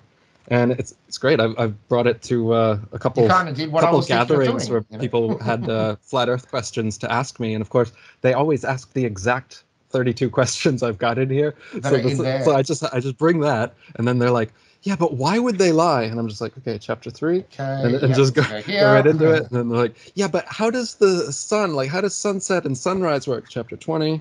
And, it- and do just, we- just start reading, and it's great. And the the reactions I've got from people when they just sit and ask a question and I read it for them, you know, their mouths drop open and you know, they they're not expecting you to have such a comprehensive, concise, well worded, and explained answer for their question that they thought was like a gotcha. Yeah, I gonna why s- would I- they lie? I was going to say that. Do you think it's it's their ego, sort of, you know, or our ego when we do, we, you know, you, we, we want to have that nail in the coffin just to shut you down, and we think it's such an original question as well. You know, oh, why hasn't anyone taken a photo of the edge of the earth? And you know, they, snigger like they think they've, you know, just told the best joke ever. And it's Mhm. like, that's just stupid, man. You know. The Earth can't be flat because cats would have pushed everything off of it by now. Yeah, yeah, because they've seen a meme and they, you know, then they're going to rehearse that meme on you, you know, Right. because you're the first flat earther they've ever met. So they've got to throw it, you know, try this on someone. And it's just ridiculous, isn't it? And, you know, uh, that's great with that book um, because you're right, it needs to be broken down and have references that you can go to just so easily with, um, you know, the 200 proofs. I love the 200 proofs video, but I'll send that to a friend and they'll go, yeah, yeah, great. And that's the book version of it. Just is that is that got illustrations as this well? one, this one is hardcover, hardcover, and it does have full color pictures Awesome. because it's so small. I was able to kind of get away with doing both the hardcover and the full color option without it having to be too expensive. right. So I w- I, went all in with the, the 200 proofs. I did nice. with the um the Earth Plane as well, which is my children's That's- book. That I love I was one, able to yeah. get that one to be hardcover and uh, full color pictures on the inside as well. I love this book. These Yeah, were done by Ken Ev Art, another Ken- flat Earth right, um, yeah. illustrator. brilliant did a in wonderful job. Yeah, yeah, for sure. yeah. We we worked together for a couple of years making this one. Just um, you know, tweaking tweaking the pictures. I was trying to show an experience of myself or a typical school kid, and the teacher how they are teaching you one thing, and him he had a uh, grandfather who was a flat I love earther. this So story. Yeah, I've, you put this on YouTube, didn't you? Is Yeah. that right? Or yeah, I, I, love I made uh, like an yeah. audio video book Yeah, of it of me reading it, trying to do a grandpa voice and a little kid voice and and uh, reading this Oh, story. so th- this is is good for for children that are in grade school that are just learning because this book outlines both models.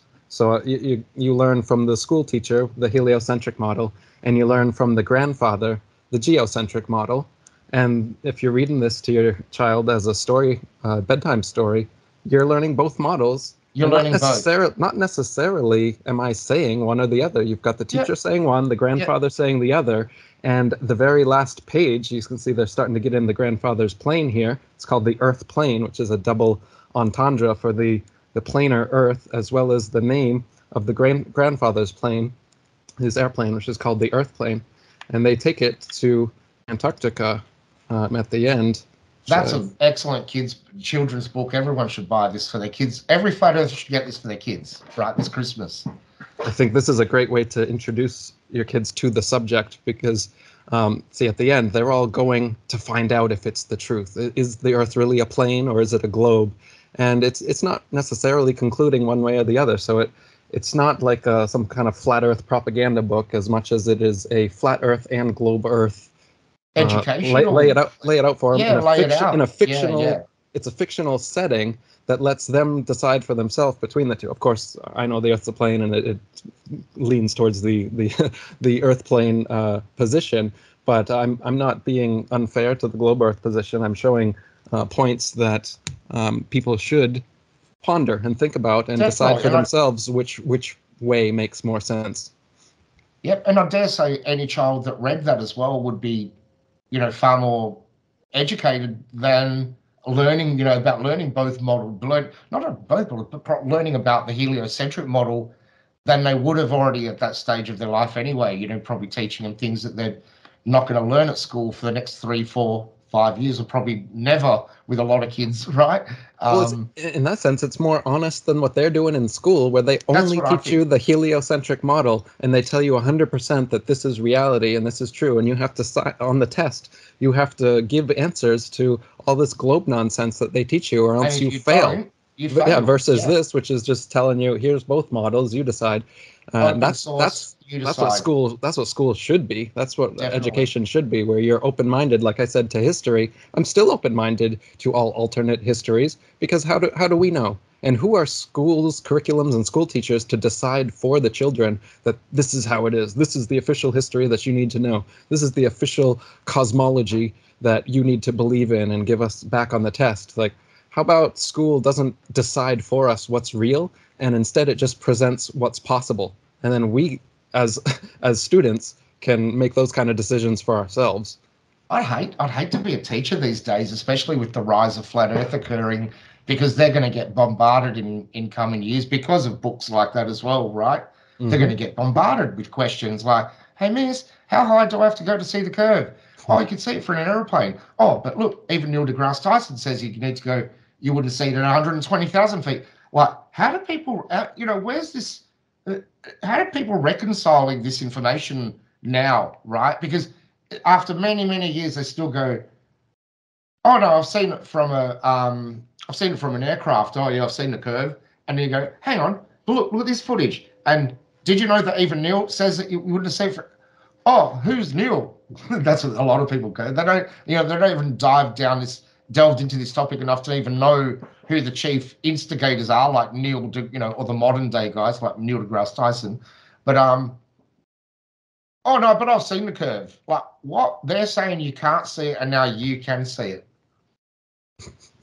There's just nowhere to go. They've got no room. They've got, you know, I wonder whether that's that why they took the Concorde away, you know, because mm. that hmm. was a questionable height to go, hang on, we still can't see it at 60,000 feet. Mm-hmm.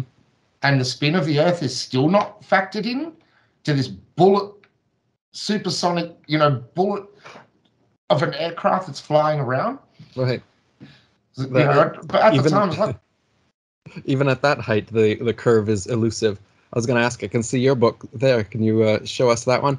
So you yeah. you came up once you figured out flat Earth was a reality, and uh, you did a bit of uh, activism in the same way and came up with this, the elusive curve, and this is kind of like maybe the adult version of the Earth plane. I was going to where... say that as you're flicking through that. I'd say it would be the adult version of, of that book, and um, it even starts a bit feisty as well, where you know, what do you mean the Earth is flat? You know, have you lost your friggin'? It was I had a bit feisty. I, I had a you know F word in there, but I changed it, sort of like smoothing down a bit, um, because people were handing it to their children and going, "Oh, what? I didn't want swearing in this. You know, I didn't intend it to be for children, as you just said. It's more of a an adult version, but it covers all the topics from both angles as well. I liked what you just said before, how you would try and teach both the heliocentric and the geocentric uh, model models, right? And that's and the most that's, important that's thing. That's what you're doing with your book there, because it's a fictional uh, book that most of it is dialogue between a new flat earther and his globe earth friend. So you're getting both perspectives and you're getting the typical back and forth that you can expect from friends when this happens. So as I'm reading so the elusive curve, I'm feeling like, oh yeah, I've had this exact conversation a hundred times. So it's it's got a it's a good feeling like that as well. It feels like you know, and you, it, it's like a constant, isn't it? When you meet a new person, it's like those typical questions, you know. But why have you know? But why would they lie? And you know, um, it's really it's the, the the brainwashing is so obvious, isn't it? How is it that we all have these questions. I remember when I first got to flat Earth, I did the same. You know, I was quite embarrassed to admit this now, but oh, if the Earth's flat, what's under the Earth? I don't know why I thought that. Like, why is it a disc? Was it a coin, and it needs to be an underside? I just, I guess I didn't get it, or maybe it was because of um, the way it was being portrayed through, you know, like you imagine a flat, because we think we're flat, we're in a super, uh, an, an uh, universe of this stars and. We think of it as an object right? The, the globe is an object. It's a large yeah. object floating in infinite space. So that's the conception of cosmology that we've been living with our whole lives. Now to come up with the flat Earth, so we think of a flat object in space, and that's why merge. people think there's an edge somewhere because they're just taking the heliocentric cosmology that they're used to and superimposing it with a flat Earth now. But and that so that's why you wonder, and, and I still would wonder what is below the flat Earth. All we know is more Earth. As far as we can go, there's deeper and Pretty deeper much. Earth it's that gets foundation. harder and harder. Yeah. Yeah. And maybe that's how reality is set up. Reality is not an infinite expanse of empty space, but rather perhaps it, the, you could call it the basement. Yeah, the basement yeah. of the universe is yeah. just infinite land, or perhaps it there's an enclosure of some point at you know somewhere we don't know, but as far as we know, we've only dug down about eight miles uh, with with drilling technology and everything, and that's not even through the crust, the globe um, model that they present you with. The crust is like 15 miles or something deep, and then you get into the the outer mantle and the inner mantle, and then the outer core, and then the inner core, which they say is molten magnetic stuff that causes the constantly moving poles to shift, even yeah. though there is no such thing as magnetic magma. Like that doesn't work that way.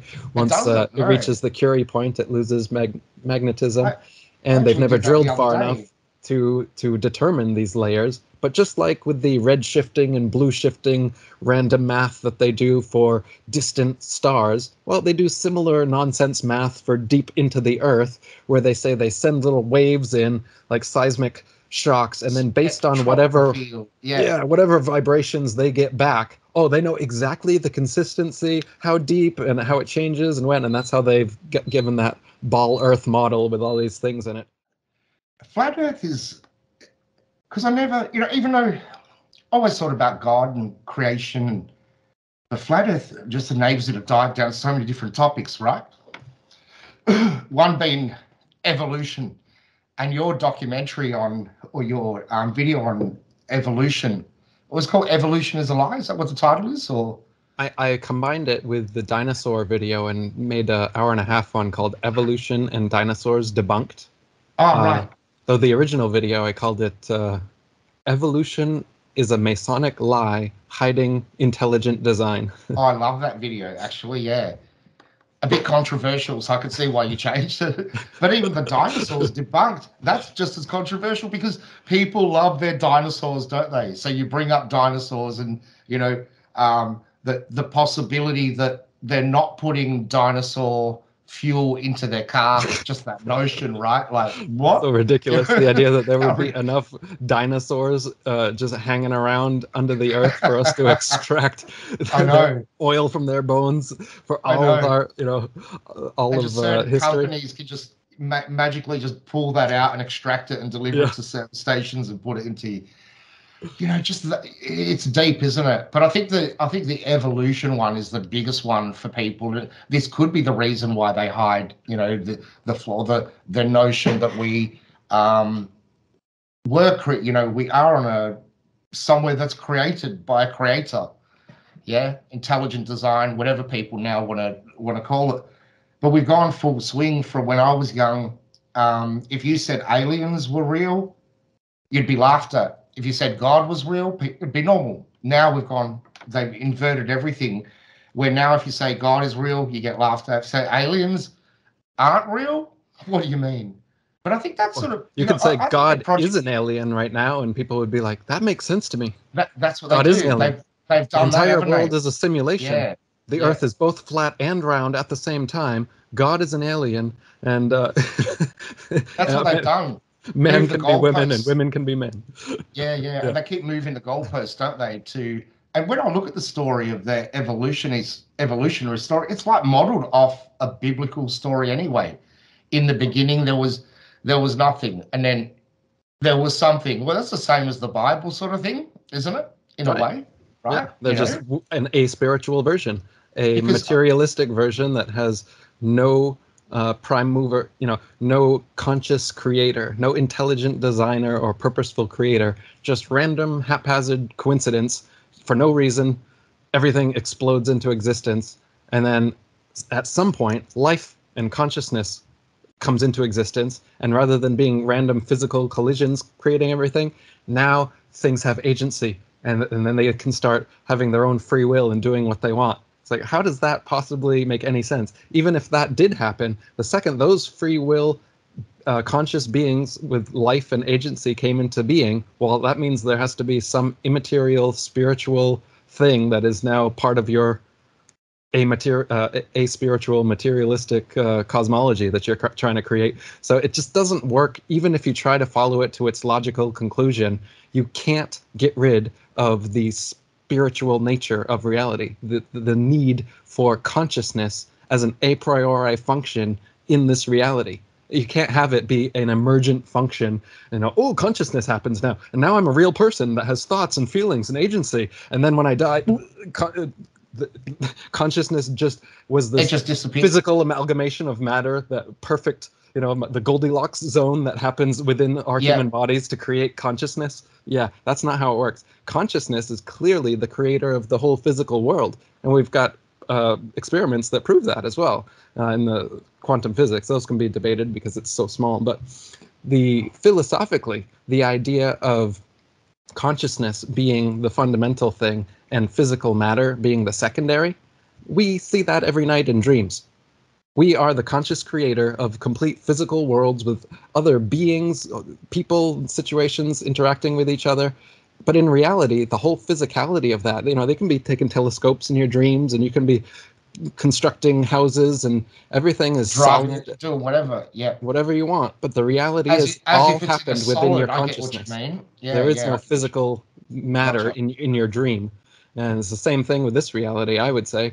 we're just we're a character in it and so we're exploring it with our hammers and our telescopes and binoculars and we're like no this is real. See how real this is? Uh, it's it's physical matter and you can't penetrate it or whatever. But beyond that there's a dreamer. There's a there's clearly got to be a dreamer that created the whole thing.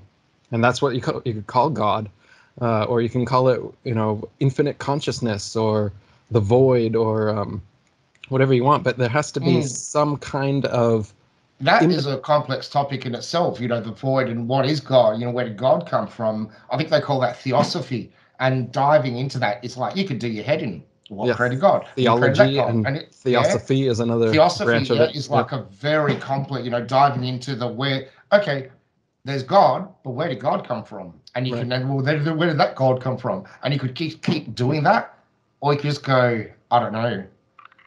That, that's what they call the unmoved mover. So the problem in philosophy is like you're saying, if whether it's you call that the Big Bang or you call it God, you can always ask the question, but what was before that?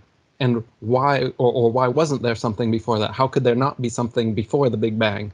And they'll be like, oh, there was nothing, and then some space-time fluctuation in the vacuum caused everything right to happen. temperature and the you know this blue red shift occurring. And you know that blue red shift is interesting because they take real things like that blue red shift is the Doppler effect, which you can demonstrate through sound and through waves and a lot of things, but you can't demonstrate that by looking in the sky at a tele, at a star billions and billions of years light years away and determining how far it is. No, not at all. especially when they change color all the time. Spend some time looking at stars through a telescope, and you'll see that Really? they, don't maintain the same hue of red or blue, and sometimes they change between the two uh, constantly. So to, to act like they all have some consistent color that you could measure to that degree of precision is ridiculous. It's constantly twinkling and changing colors. Uh, I recently came across a video and it was um the fastest. um, I'll see if I can find the title um here without losing you. Have I still got you here? Yeah, I Yeah. do. Sorry.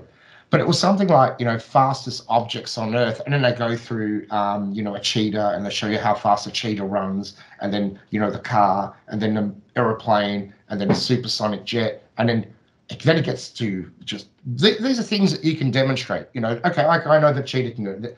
These are cool. I can see these on Earth, but then they get to outer space, and you know, this is how fast the International Space Station is going. And then there was this thing that was saying, because we know the International Space Station was what we know. They say it's seventeen thousand miles an hour. Um, there's an object up there which is a manhole cover, like a manhole cover for a street, right? The steel manhole cover.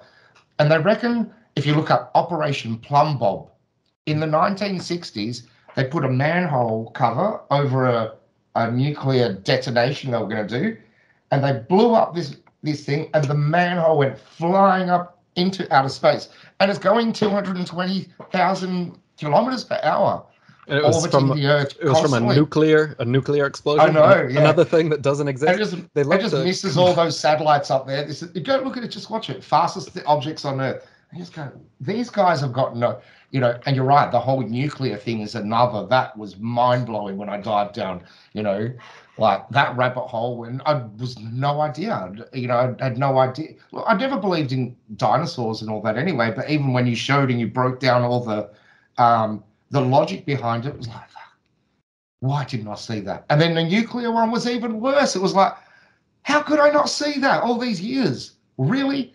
These things are blowing up and the camera's right there and the camera doesn't get affected, but everything else does. Just crazy. And I saw someone on Twitter recently, they were claiming, oh, you know, I recently started the um, nuclear is fake. Oh, that's been. I was like, really? Eric Dubay showed that five, six, seven years ago. And now you've got people taking claim to things you showed. Yeah. Because you were one of the first guys to really go out with a lot of these. Hey, not only is he saying the earth is flat, but he's saying dinosaurs are fake, nuclear is fake, evolution's a lie. like, what else did you stack on top of it? Just pancakes. It's like a pancake this big now that people have got to just you know go through. I was going to say that before, but um, I sent uh, just recently, you know, a mate of mine who's been he's known a flat earther for years, and I thought he was sort of swaying on our side. But he recently, uh, you know, he's come back charging. Oh, you know, you think you know it all, and you just, you know, hate people debating you, and, uh, you know, you want to know, you know, you think you have all the right answers, and you don't want other people's views, whatever, whatever. I sent him your video, 200 proofs, and next day I got back to him. Did you watch the video? He goes, I don't have time to watch videos. Like, I do my head in, Eric. How do you, how do you how do we do this? how are we going to do this? But we're going to do it. We're going to persevere, right? Because it's it's fun watching these these cabal are going down, man.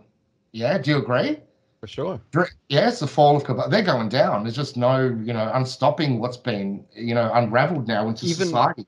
even if they succeed, they're gonna fail. Is the way I see it.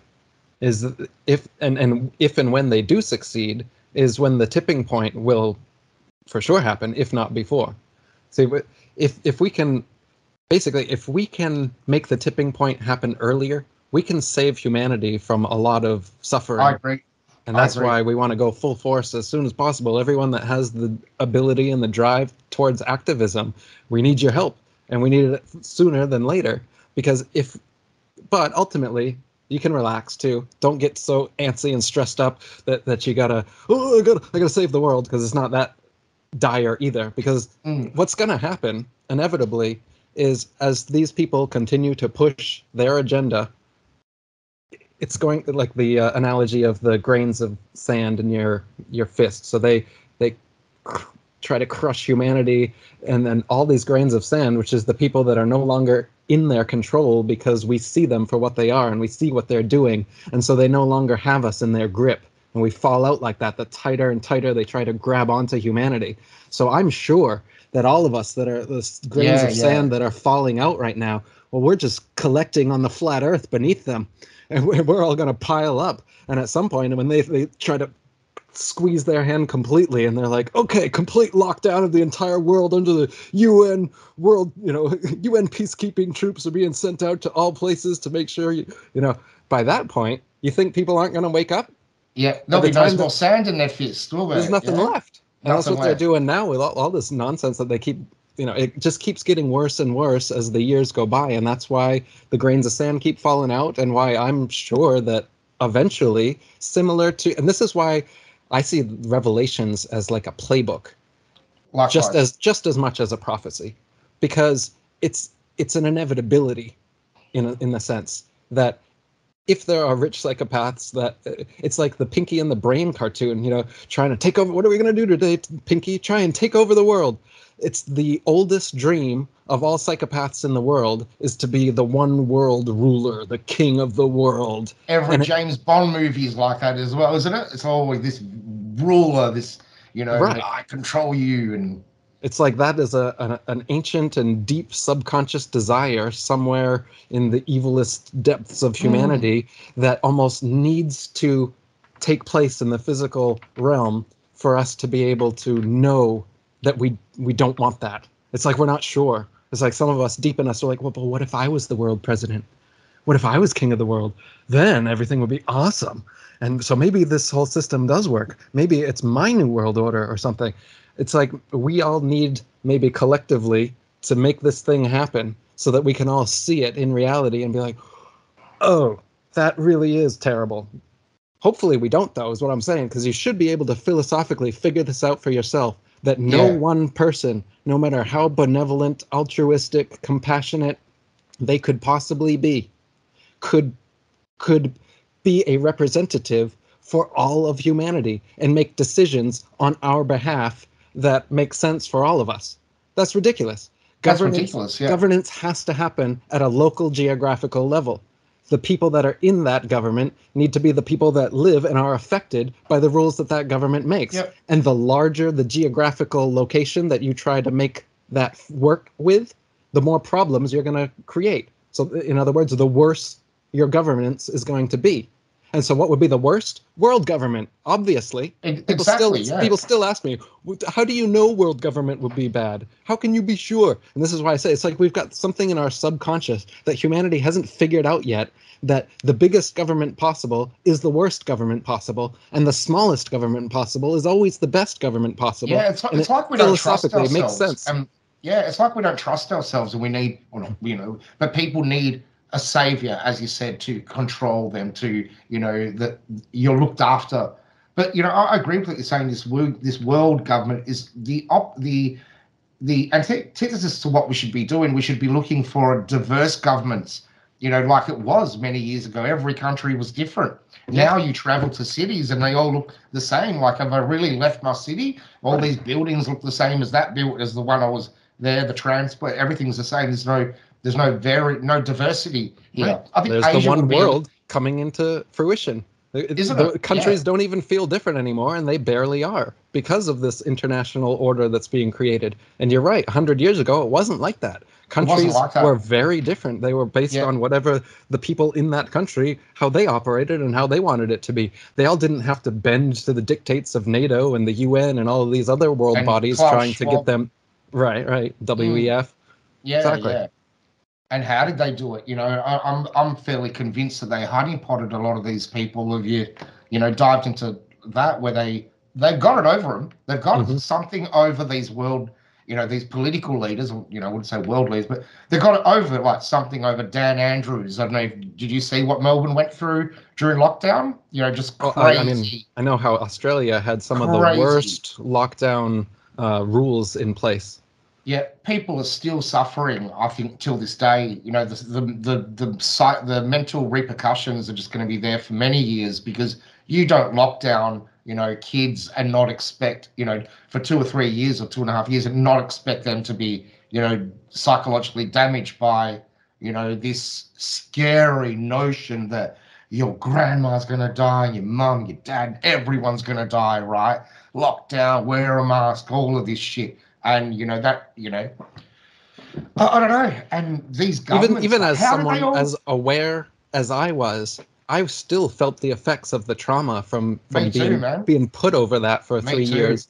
yeah Society making everyone muzzle up and and making my grandmother not want to hug my parents for three years. Have, have to wear masks inside the house because she believes the news stations more than her daughter and stuff like that. So Yeah. it's really traumatic. For, it's breaking families apart and stuff.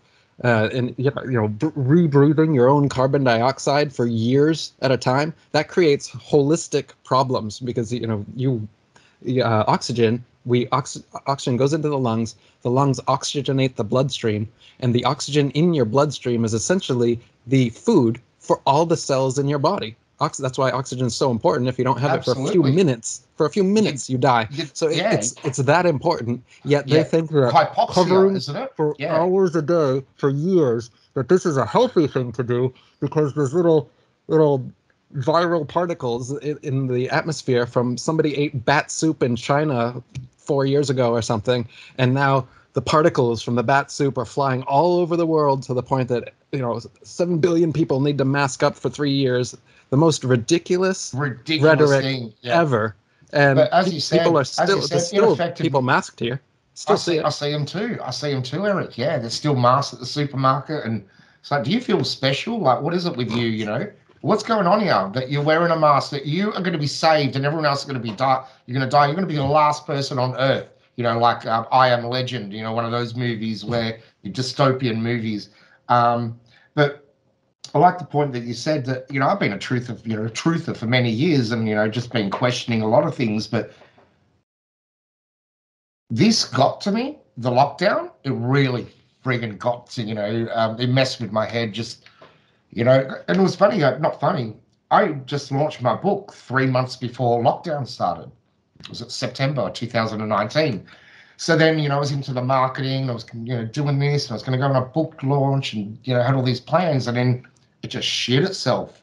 You know, but those first initial couple of weeks, I thought, oh fuck, you know, this could be bad. Like we've never had this before. I know, you know, I don't know what was wrong with me.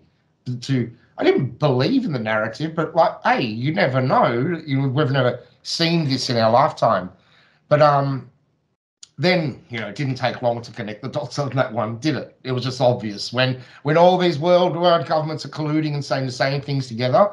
Be very very wary of of the situation because they never do that unless Mm. it's you know controlled and planned and um you know. But yeah, the the I think they've been you know how have they done that? We will never know. How can we prove if they've been honeypot? If they've been you know yeah, tough one though. But we should never ever forget that. And the problem, and I, I like what you said before, because we can put a stop to that. Because this is not an end to them. They're not going to try that once and go, oh no, look, we tried, and they're just going to progress till 2030 and beyond, unless we put a stop to them. Right. How can we put a stop to them? What is the one truth that the whole world can collectively go, hang on, they lied about that, and we don't need everyone it's going to, you know, it's, what is the tipping point? 70%, 75, 80%? What's it going to take? I think we'll get there eventually. And that's when these guys will just have to, run. I don't know what they're going to do, where they're going to go, where you're going to hide now, mate, hmm right? Because now all your your your space agencies are going to be dismantled and all these bullshit, um, you know, um, courses or whatever, or, or um, degrees that you're selling in universities are gone. hmm All these you know, fake science, isn't it? At the end of the day, Right. pseudo pseudoscience, and that's got to be eliminated. And I think if we can do that, it's a pipe dream, isn't it? Is it a pipe dream that we can break beat them? I No, don't I don't think so. Not for I don't think so either. not- No, no, no. we wouldn't be doing it if it wasn't. Exactly. No, I think a lot of people just have their own timeline in mind, and their timeline is a lot shorter than the necessary time it actually takes for these kind of movements to, you know, look at Right. history. You know, the Renaissance, the Enlightenment. Uh, all these, uh, they're not ten years. That's all we've had so far with this particular subject. I'm not expecting the entire world to change in ten years, but I would say that we've done a darn good job in ten I- years I'm very surprised. Yeah, and we get another 10 years like this going. And, like you said the, the great thing about this is you don't go back. The supposed flat earthers that changed back to the globe there's only about three that i can name. I, I don't believe any of them. They, they, Yeah. i see all three of them as agents who pretended to be flat earthers. Yeah. uh, well they probably know the earth is flat just like most freemasons uh, know. But then they play the part of the globalist and they that's their propaganda and then so now at this stage they need a new level of propaganda which is i was in the eric dubay cult for five months or something and now for the past five years all i do is make globe earth videos about how earth is a globe and and uh, flat earth is a cult and i was in it you know that's what these these guys Mm. do but they're and, not genuine they probably, yeah they weren't probably genuine make from the money out of that. And they Of make money out of that, and people have realised what you know. That's um, they're milking it, and even you know those. I don't even want to mention their names on your Right. show. Actually, Eric, um, I just don't want to give him cre- any credit, but Yeah. there are a lot of anti-flat earthers who are, you know, making more money out of you know a guy like you who's written eight books and put in hard, you know, hard work and um, maintaining. You know, um, I could just imagine the work required to to try and promote eight books as well. Trying to promote one book is hard enough, let alone eight, right? But um, and I've been shut down and banned from every platform imaginable multiple times as well, trying to get this out. And they've got the algorithm working against me, where you can't find any of my video. You can type in the exact title of any of my videos, and you will not get that video. You will get some video debunking that video, or some other thing tangential to it, debunking Eric Dubay, rather than that actual video. So you, you can't even. I was looking for specifically. Yeah, yeah. Imagine if Google, um, if your, um, you know, GPS uh, in your car worked like that. Oh, you know, I want this address, but it takes you somewhere else. Like what? I wanted this address. You know, because that's effectively what they're doing. Especially when the person is typing the title of your video specifically in there. Mhm. Because at one stage you could type 200 proofs, and that's all you had to do. Yeah. you didn't It'll even have right to write the first, first thing exactly, and there would be multiple finish it. copies of it. So you'd Yeah, see yeah. other people's versions of 200 proofs. Now type that in, see what you see. You'll see Neil deGrasse Tyson, Mark Sargent, and all these other people that have nothing to do with 200 proofs or the legitimate flat Earth movement, and they're all just puppets that have been propped up for for people who are searching for this subject the first time. So you, Just YouTube get- is clearly in bed with this, and they admit it. We put it in the Level documentary where they had the congressional hearing with the YouTube, and they said specifically they talked about flat Earth. They said so. For instance, if uh, somebody says flat Earth, what what have you uh, done to curtail it, and they're saying that they've got their little wiki boxes that they put up saying that it's not real, and that they have uh, the way that they've changed their algorithm since that time is that now rather than whatever keywords you put in being the main driver of what shows up top in the algorithm. No, it's not what keywords you put in. It doesn't matter what you put in. What shows up the top of the algorithm is their what they consider through their algorithm the most official source. So you get your blue check mark, you get whatever whatever they consider official. So of course NASA's official, and of course anti-NASA people are unofficial. So you mm. type in any anything, moon landing, NASA this, NASA that, you're going to get the official version and all these anti-flat earthers and everything before you get the thing that you typed because that's yeah. not what Google does anymore. Google doesn't give you the most relevant search for what you typed. It gives you what they say they is the want. most authoritative uh, yeah. official site that is somewhat related to what you typed. That's how Google works now. They changed how search engines work. Yeah. I think that when they started, they had like "Do no evil, do no harm" or something like that. I don't yeah. even know if I believe the official yeah, don't be story evil. anyway. right. Yeah. yeah. Um. But now they've just gone beyond. You know, they were a good search engine, and they're gonna. And you used to get what thousands happened? of results. Have you tried that one? You can only go to like ten pages in now. So you type in flat Earth, three. You know, whatever. You get hundreds of millions of results, and then you click two, page three, page four. By the time you get to about page ten, it'll stop you can't even find anything anymore.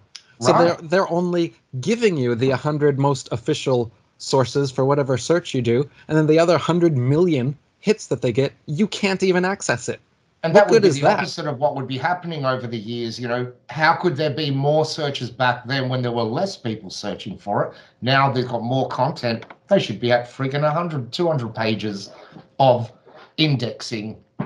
And you're right, the whole thing and you know, the other some of the other search engines are allowing it, which is pretty cool. So you can just go elsewhere, and you know, I think we should all move Google, from Google exactly, yeah, exactly. That's what's going to happen to these guys. Search platforms yeah. that are still yeah. giving us keyword relevant searches rather than this authoritative algorithm that Google's trying to implement. Yeah, and I, so, I'm a webmaster. I build websites in um, 20 years now, and I have a love hate relationship with Google because I work with clients. I, I do search engine optimization um, getting people ranked on Google. But then I know how manipulative their whole algorithm is, and it's just you know it's very hard working. You know, it, I, I, think it's hard. Um, just working full stop after you you realize how much this whole system is just it's just BS, isn't it?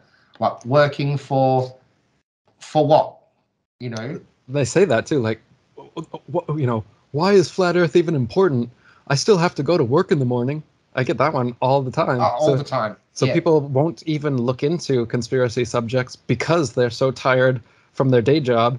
They don't even want to think anymore. Their their thinking energy has been expired from their slave job, and the fact that you have extra energy to think about these subjects that you know they think are crazy just makes you like this enigma to them. They're just like, how do you? Don't you have to work in the morning? Why do you care? And but but again, I would say this is part of the trauma-based mind control that has got people thinking this way that they're in they're slow into their slave mentality that when someone questions it they're just like get back to work man. They're gonna you're gonna get whipped you know? They're gonna see that you're not going to work in the morning or whatever. Definitely and and, and you feel that way. Once you find out how much you're being screwed yeah you don't want to go to work in the morning. And maybe that's another subconscious thing and that's why they say this thing so often because they subconsciously know that hey, if all this is true that you're saying, and we're under this level of deception and manipulation, why am I at a slave job? Why am I working my freaking life yeah, away? What am I doing with my life? And it's like, yeah, th- those are the exact questions I'm hoping you'll start asking yourself if I can break through your globe earth mentality. It's such a pervasive mentality. That's what I'm saying. It removes your common sense, removes your ability to listen to your friend when he brings up demonstrable empirical evidence in favor of your little authority figure 500 years ago that you've never met, but you have, you know, this assurity that they are the most intelligent people in all of history and your friend is now crazy even though he's your best friend and you've always gotten along and agreed about everything for your entire life and now suddenly no but einstein. But what about einstein? Who? Yeah. Who? Yeah it's just it's hard you know and i think um it'll break apart. The system's got. But what what do we mean by that? You know, I don't think it's going to be like you know a, a world with devastation. There's no food. It's like because we're all flat earthers. Like the whole world went to disarray. Because I reckon once you get to this level, like I, I was recently thinking, I, bought some seeds, and I thought um various seeds, pumpkin seeds, lettuce seeds, carrots, whatever. So I, on my street, if I went and said to every house, said, "Hey, do you have a garden? Oh yeah, I do. You put the carrots. I'll go to the next house. Can you do this?" And just in one street on your house, if everyone grew fruit and veggies and just um, exchanged with, with each other, well, you don't really need. There's your food, right? There's your winter crop, your summer crop, your you know like spring crop, or yeah, you could do that. But we we think we we're relying on this. I like one of the videos you said, uh, uh, and I don't know which one it was, but you mentioned a materialistic world that we live in, isn't it? It's all materialistic. I think people are afraid of, you know, they've got the house and they've got the cars and they've got their kids are going to that school and they're afraid of this system imploding within itself and they don't have that anymore because the you know, all of a sudden we've we've disclosed this um, this beast, this world what uh, new world order, or whoever, whatever you want to call them. But I think that's the opposite. Shouldn't it be the opposite of what would occur? Mm-hmm. Like, because we're taking where you know you're not wasting billions of dollars in space and all these stupid industries that you know military. Take a look at the military industrial complex. Um, to start with, uh, um, I think that's the most destructive industry on earth. They say, don't they? Even from um, from you know consumption of energy, um, oils, etc., to move the military vehicles all over the world, the, the troops and all the rest of it. It's the most expensive industry. Uh, is the arms industry, followed by the oil, and followed by the pharmaceutical. Yeah. All all three of which are, you know. And I think now child trafficking is sort of slotting itself, you know, human trafficking is slotting itself within there as well. Yeah. That's how pervasive it's become. That's become a massive industry. And, you know, who's consuming that? These same people. So mm. it's very, it's just like, I don't know. Um, we've got a battle ahead of us, but I think it's a doable battle because the flat earth is that one thing that can connect everyone together. Like we wouldn't be talking to each right. other if it wasn't flat Earth, right? Even if there was a video on evolution, it's like, oh yeah, cool, evolution. But you know, flat Earth is like you sort of form a family over the years. Yeah, that's you? interesting. Yeah. Why is that? Because yeah, I don't, I, I don't feel that with the evolution deniers or, or the, the di- dinosaur you know dinosaurs didn't exist people or whatever now i feel a much more kinship or some some kind of familial yeah it's, it's like a oh, f- family it's like oh you get it oh you're back to acknowledging your common sense as being reality. You no longer follow the dictates of psychopaths on high. Cool, come on over. I yeah, know, it, it yeah, really yeah. feels like that. But yeah, the, something about the flat Earth is is more special in that. So there's a there's a real feeling of um, of um, connection with the other people that that get to this realization than pretty much any other realization.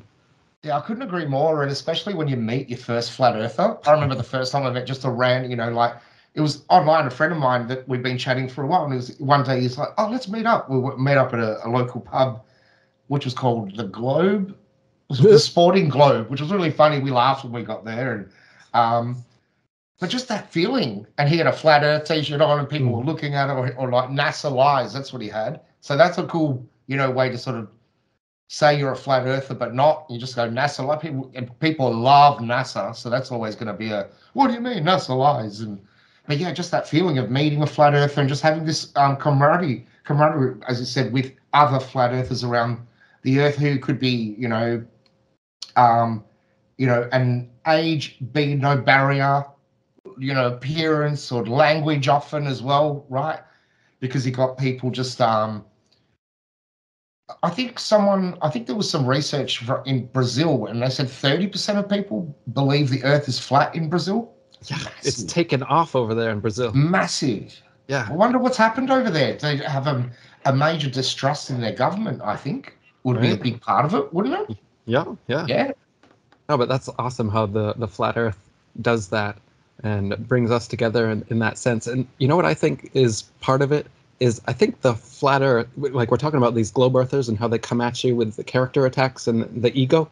I feel like it builds up this ego around people and flat earthers break through that. They they they get through that whole defense mechanism, that ego that they've built up around this information. Oh, I know this to be true. Well, no, you don't, and you you the process of becoming a flat earther by learning all the information that's i think a really important process.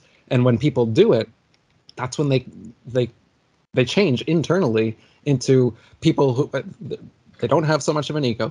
They're much better listeners. They're much more able to accept things. They have a, clearly they have an open mind. But then they Yeah. also have to have a level of intuition and discernment to be able to get that far down the rabbit hole and the flat earth is literally like the found the bottom of the rabbit hole once you've reached the flat earth you're there so when people are at that level even if you have you know oh i haven't researched the nuke thing or whatever they're open to it they're not going to come at be you with, they're not going to Yeah. be like well there's no way nuclear bombs don't exist man it's like they just went through the globe thing You- they're, they're not going to the biggest one. Yeah. the biggest yeah. one already so they're not going to have that same ego for everything else so it blows your mind open but it doesn't uh, you know it doesn't take away your intuition or discernment because there's that line people are like well don't open your mind too much and that is true there's uh, people are so open-minded and it's like they have no discernment and so any Yeah. idea they hear is like I know. oh so so that's true now and Yeah. that's annoying that's annoying to me as well uh, um, but that's why i always I, I look at these you have to have both of these things you have to have a mind that's open enough to be able to take in any new information without any bias. Then you have to have enough discernment to be able to look at all that new information and weigh it against the, You the pro, you know against reality basically Yeah. and see how, how it, it goes. And then you don't have to instantly make a decision. That's another thing the flat earthers are able to do. Okay well we had to hold that in our mind for you know days weeks months maybe years even both models and not decide. Most people hate that. That's why they whatever the, the, the closest religion is oh i'm i'm an american so i'm a christian. Oh Yeah. i live in iran so i'm a muslim. Oh i live in thailand so i'm a buddhist. They don't even think about it. They just t- take the closest holy book to them and they're like i believe this now. And it's the same thing that they that people do with um, mainstream information cosmology and everything. But if you do this it's like you got uh, an opportunity to be a detective for years maybe or for a month. You you got the experience of what it's like to have to piece together disparate pieces of evidence and try and find out who done it and try and figure out you know you know all these the ins and outs of it. That is true education. That's what we should be doing in school. And it wasn't you know they should present us well, imagine if they presented you the globe and the flat earth in school and they gave you the whole course for a year to to argue you know figure it out read, read the both and the you Could wouldn't you even have to come up with an answer Discussions. The exactly schoolyard there would probably be discussions split probably Oh. still wouldn't come up with a, a conclusion some people would be fervently flat earth some would be fervently globe earth some would flip throughout the course of the semester because they would Wouldn't realize the veracity yeah, of the flat wrong, earth arguments about that? Yeah. but and this is why I liked philosophy in college, and it was the only uh, class that I felt was worth me taking because this is the structure that all classes were. You would read a book, then you'd read a philosopher that said basically the opposite. Then you go into class and you argue with each other, you debate back and forth ab- amongst those ideas as well as your ideas that you thought of while you were reading them. And the whole that whole process is education. That whole thing is you know That creating true creating education, isn't exactly not Yeah. the robotic version of okay read this okay what did Oh, he say a b c a oh 100% you're the smartest kid in the class now Yeah.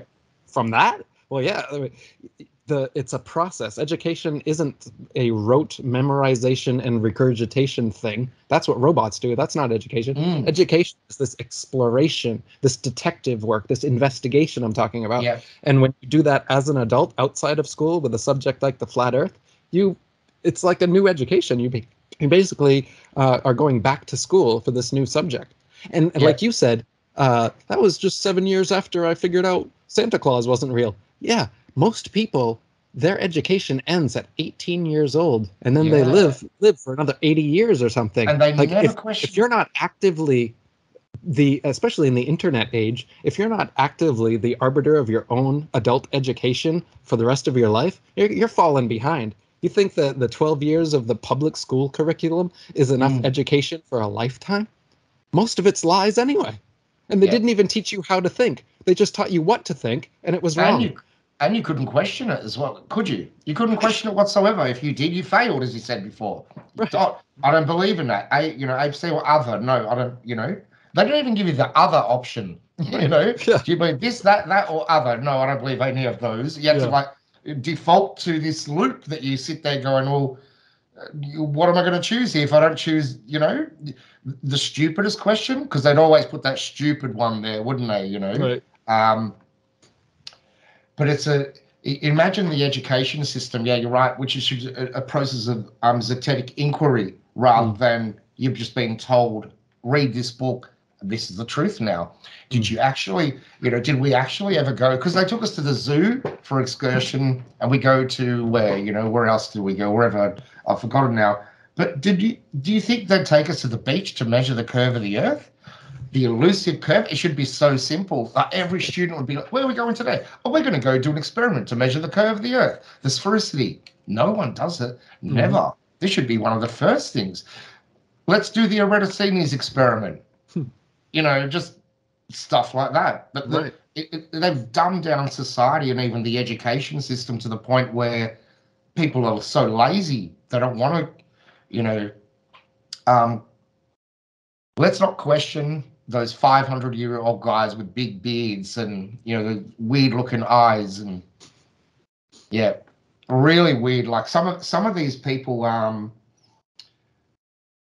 I I don't even know if they're real. Do you think they're all real, or these characters they've developed? I, I I think some of them are fake for sure. Yeah. I, I think some of them are fake. As Even well. like like Copernicus, the one who came out with the whole model, his book wasn't published until he died. So how do we, you know, or, and of course 500 years ago, so how do we even know he was a real person? But And if he anagram was, his book wasn't published until he died. So how do we know it was his book? So how do we know that? That's very Yeah. true. Yeah. So someone publishes my book after. How do you know they didn't manipulate it? Know, Yeah. It should be published. Yeah.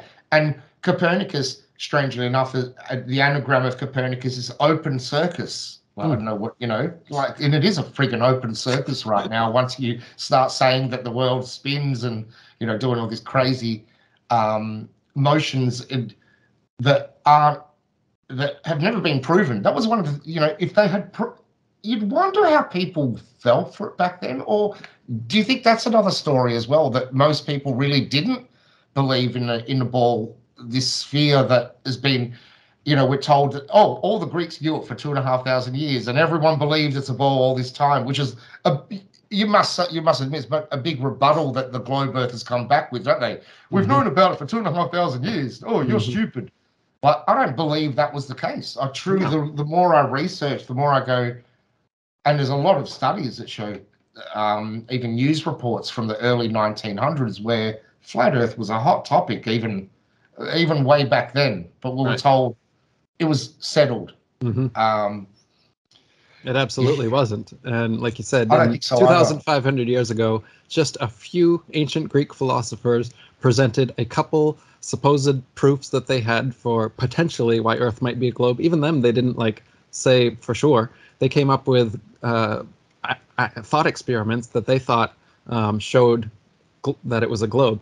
Um, but then that didn't catch on at all. That was not a yeah. a school of thought that caught on at all for 2000 years until you get Copernicus Copernicus coming along with his book.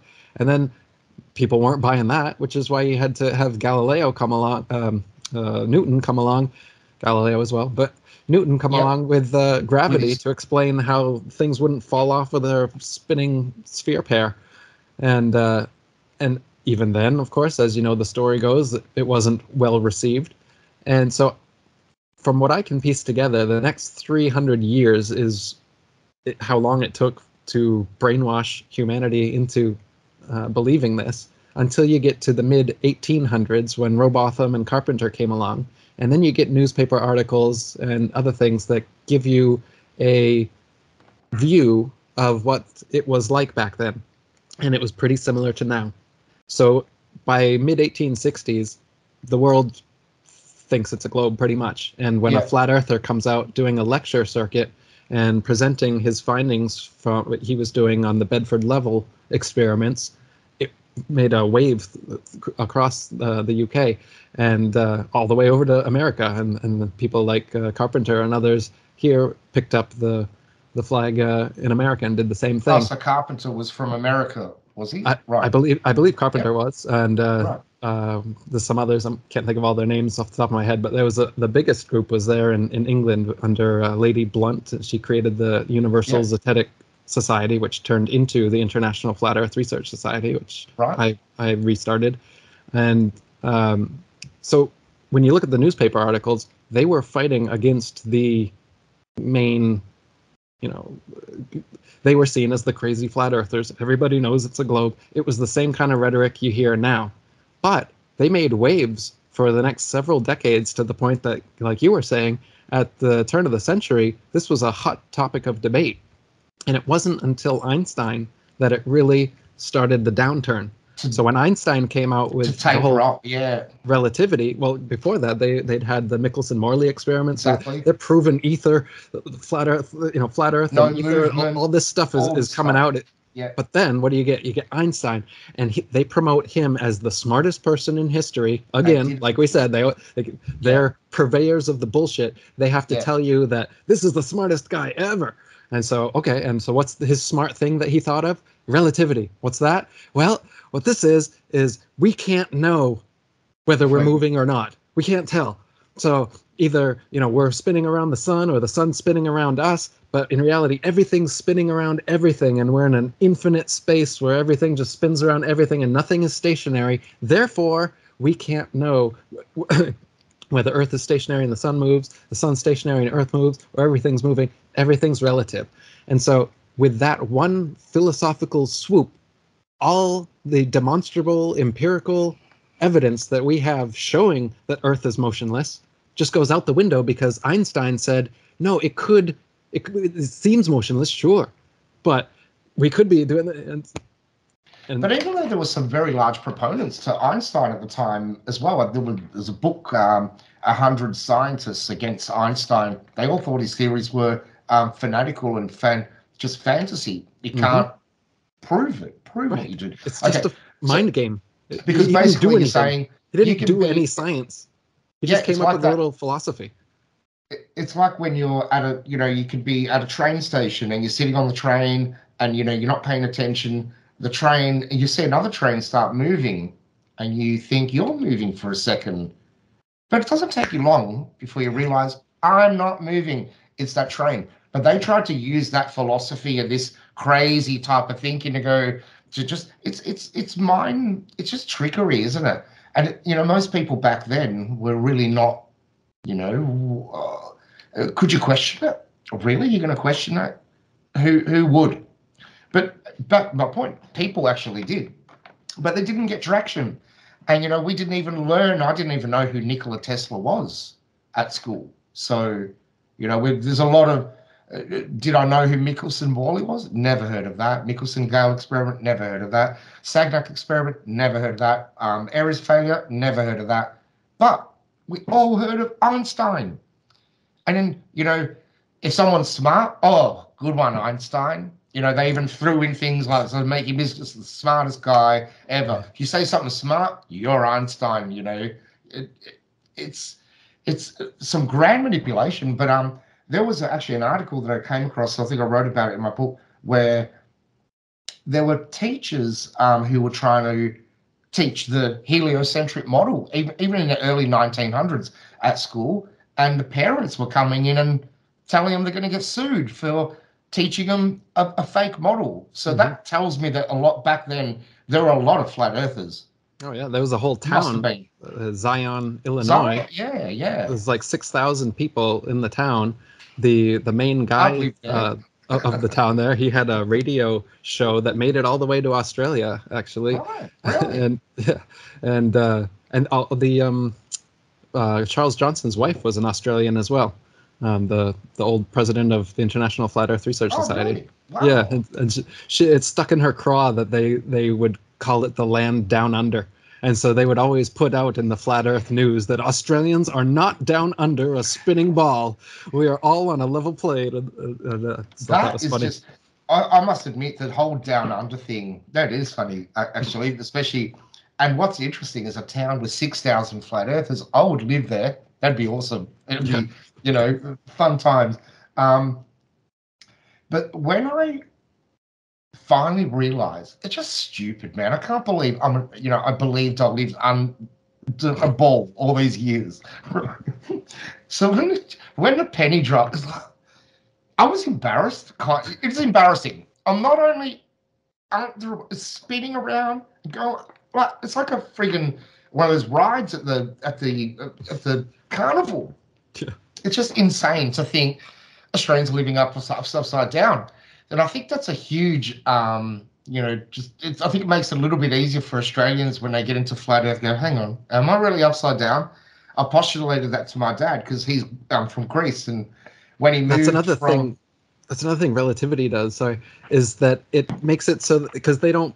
If you say that they're upside down in Australia, what your average glober will say, no, they're not. Nobody's no upside down. down. There is yeah. no up and down. So again, another philosophical mind game where they've made it so that you you no longer believe up exists and down exists, and you're like, no, no, because space it's infinite in all directions. Therefore, up and down is relative. There's Einstein's word again. This is what it was. Relativity killed dem- demonstrable empirical facts because now suddenly, no, it's relative. You can just philosophically swipe it off the table like it's not important that you can prove things. It's like, no, no, you can't prove it because I said so. Relative. All right, sorry, you're, you're giving your uh, no, but that's cool. No, you're right though. All because of a formula. That's all it is. It's not even a formula. a formula. It's, not even... it's a thought experiment. It's a thought experiment, right? Yeah. Which you probably put in some mathematical equation, but in in um, even gravity, the formula for gravity requires an R value. And that R hmm. value relates to radius. So who proved the radius? Right. They just slot that radius in there because Eratosthenes did it, proved it apparently, because he's the only guy to actually do it. Isn't it funny that they can't, you know, that they pick on us for every little aspect that we don't know, but they keep changing their model like that. It's like, really? You know, they just made the, uh, the moon is now within the Earth's atmosphere. just a few Earth, years Earth's ago. Atmosphere. Oh, we just decided uh, when we went to the moon and we, we left the atmosphere and we're in the vacuum of space. No, we weren't. Uh, we just decided that we weren't a few years ago. So, uh, we were within Earth's atmosphere, I guess. Oh, okay. Thanks, NASA. Thanks for lying to us for 50 years. No, it yeah. wasn't. We just didn't realize it, I guess. Uh, we didn't realize it until the flat earthers came out and started saying all this, this stuff about the, the the magically velcroed atmosphere that has to that I was talking about, where they don't have. Well, where does it end? NASA, how fast is the Earth's atmosphere and everything in it spinning perfectly along with it? They won't give you an answer, but they're extend they've extended it past the moon since a few years ago. Why'd they do that, flat earthers? You know, they're just yeah. The, it's damage control explanations Isn't in it? reverse. They're, they're just coming up with stuff in reverse because they know it's flat. They, in the NASA documents, flat, non-rotating Earth. Assume yeah. all things as as if it was a flat, non-rotating Earth page one, and then for the next 200 pages, but it's a globe and we revolve around the sun and everything. But don't try to make that math work out because it doesn't. and they even use the salt flats, which are the flattest places on Earth. They use them to calibrate their gyroscopes because when you calibrate, you need to know, well, where can we go? to The flattest place. Hey, water. Water's flat, and they use that as a, a method to calibrate um, a gyroscope, not around a sphere, not to account for any, because you wouldn't be doing it over a, a flat surface unless you're training people to fly over a flat surface. Absolutely critical these devices because you don't want people crashing into mountains and you know all that sort of you know pretty important stuff, right? Um, but the changing of the model is really important, and they've even changed the distance of the stars off from this many light years now. So each change of a light year, we're talking like billions and billions of kilometers, and you just want to change a few light years? No, thank you. Have you seen some of the um the ridiculous stuff they've been pushed? Oh, an asteroid the size of 35 chickens to pass by Earth. Have you seen that? Just type just try asteroid the size of into Google and then go into news and like one week it's asteroid the size of 27 penguins next week 35 chickens 20, 20 22 giraffes like they're just getting ridiculous that and people believe this shit right they believe it um, oh, we just found a, an asteroid and it's got, you know, four hundred trillion dollars worth of diamonds and gold, mm. and then I'll read the comments. And people are like, oh yeah, wow, we could change the whole world, Earth's, Earth's economy with that. Like, what are you people? Like, yeah, they're just going to get this and split it between everyone. you know what I mean? Like, it's just insane what I- I think they're pushing it. They're just like, how far can we go before the people actually, you know?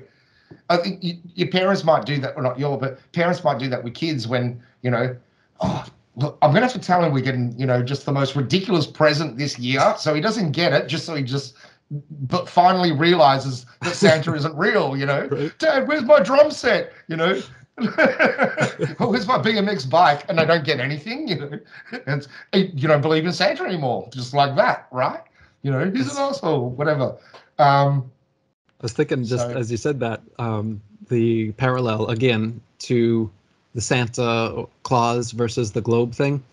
When I was a kid, I remember, uh, you know, my parents did the whole Santa, Easter Bunny, and Tooth Fairy thing with me. So I, I believed in all of them for years we, yeah, until, and and this is how it works with the flat Earth thing too. It's until you think of something that doesn't fit right that's always the first thing that has to slip in there and that's why you got to take notice of that rather than just be like why are you even questioning that why would you be skeptical of something of settled Yeah. science well because Mhm. this is how it works when when i what happened with me was i was laying there with the tooth under my pillow one night thinking and i thought you know every time anyone gets anywhere near this house let alone a window or a door my dog barks why hasn't the dog ever barked at the tooth fairy, the Easter bunny, or Santa Claus? And I got out of bed and I went down to my parents. They're watching TV in the living room. And I said, Why doesn't Precious bark at the tooth fairy when they come in the window to put money under my I didn't even think of the fact that I didn't wake up when the money's being placed under my pillow. Like I'm not gonna feel that. Well, I guess I didn't because my dad did it. But what I did True. think of what I, what I did think of was the dog. Why doesn't he bark for all this stuff? And then and then I'm looking at my dad. He's sitting there on the couch and he looks over at my mom and he goes, "Is it time?" My mom, my mom, my mom looks over at him and she's like, "I don't know." And then he goes, he pats the the sofa. Have a seat, son. And I'm like, okay. Oh, and and this is funny. So so he sits me down for the talk. Find out it's him, Tooth Fairy. And so of course my next thing is like, well, what about Santa Claus and the Easter Bunny? And so okay, that was true. Do you know what my next thing was? What about God? So God isn't real? See? and then- and then the-. My Christian parents are like, well, no, no, no, no, that's real. I was like, oh, interesting. Uh, and I, and now I would say uh, I have God is a bit different, I like that. I like this. but it's similar in the sense that you know it's this supposed being that sees all and is there and, and, and watches over you and just like these mythological santa and, and tooth fairies or whatever but to my young mind as i just destroyed those three ha! There is no santa claus. There's I'm no on a roll. all these things you're telling me. What about that god thing you're telling me? The jesus thing. Where's he? You know and then they're like whoa, whoa, whoa stop stop. You've gone too far. It's like oh you can't do that to me. I'm on a roll here. Um, but I've I've always questioned that as well. And then with with the God thing, I would say that see I don't usually use the word God because I think that word conceptualizes what that thing is into a similar to like the Christian version where it's like in our own image we'll make him in our own image. It's this idea that God is a human basically like Mm. Santa Claus or the Tooth Fairy. You've got Yeah. you conjure images of some kind of supernatural human, and so as a kid, that's what God was to me as well. So, so a supernatural human that I've never seen. There, there's the fourth one, God. So that one obviously doesn't exist too, right? Like no, no, no, that one does exist.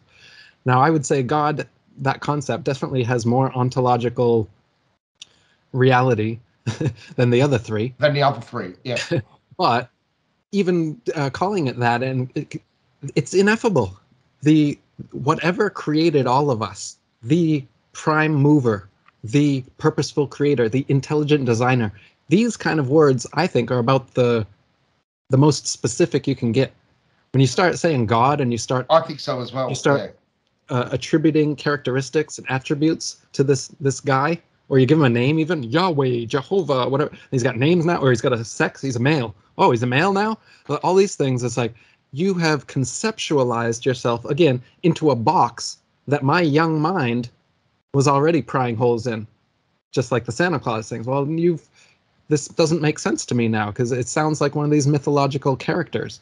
But say the ancient or Eastern version of God isn't like that. It was more of a principle, like an internal principle that works within everything. It causes the flowers to bloom Definitely. from within. It's this kind of thing. So it's so when I think of God, which I will use the term sometimes because it's the most oft used term for this thing, um, I think of it more as an internal spiritual principle or a all-pervasive consciousness versus one individual thing that you could point to and it you know it's more like the field of consciousness I agree. I agree. I like that because um, even in the you know use in the English Bible, it says in the beginning um, was the Word, and the Word was with God. But in the Greek Bible, it says in the beginning was the Logos, Mm. and the Logos was with God. And that word Logos, you could you know was so easily translated. They went Logos or Word. It's a Word because if you were to put the original meaning of Logos in the start of the Bible, it would take up a whole chapter on its Mhm. own.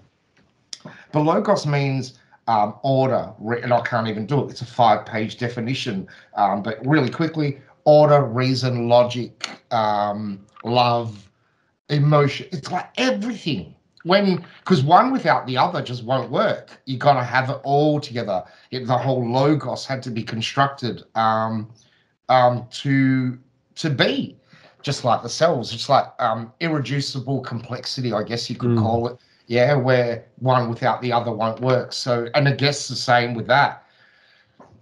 It's a complex topic. There's a Mm. really good book though. There's an audio. I did an audio book, Conversations with God. Have you ever heard? Have you Mm-hmm. Neale Neale Donald Walsch Yeah, amazing.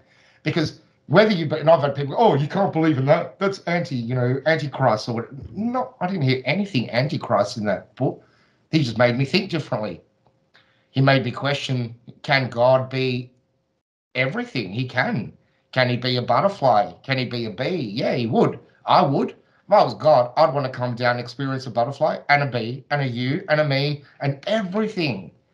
And by that re- definition it's omnipotent omnipresent and omniscient which means Is you it? literally you literally have to be everything you have to know everything You'd have to to to tell others. to be what omnipresent how could you be omnipresent unless you were everywhere that's the definition of it so Yeah, god yeah. can't be a separate thing beside us that just watches over us by definition if god is omnipresent it must be a principle that is within all things and exists in all places and that again like a dream so god is like the dreamer and and so of course the dreamer is everywhere because Yeah. physicality is an illusion in the first place that happens within the mind of the dreamer and I would say the entire physical world that we're a part of, and our bodies included, is all just uh, happening in the mind of God. And it all just seems so Is it- real because we're Is it characters just a dream? in the dream. Who was that? There's a song and they start like that. Is this just a dream? the Row, whole row, freaking- row your boat Yeah, well, down yeah. the stream. Merrily, merrily, just- merrily, merrily, life is but a dream. That's true. And I, you know, I love that because you could almost look at the stars and go, twinkle, twinkle, little star, how, I-" and that's how I look at them now. We Right. won't know what they are. They're amazing. They're just, you know, are they beings? Are they, you know, points of light in the sky so we can navigate? Or they more than that? We don't really know. Yeah.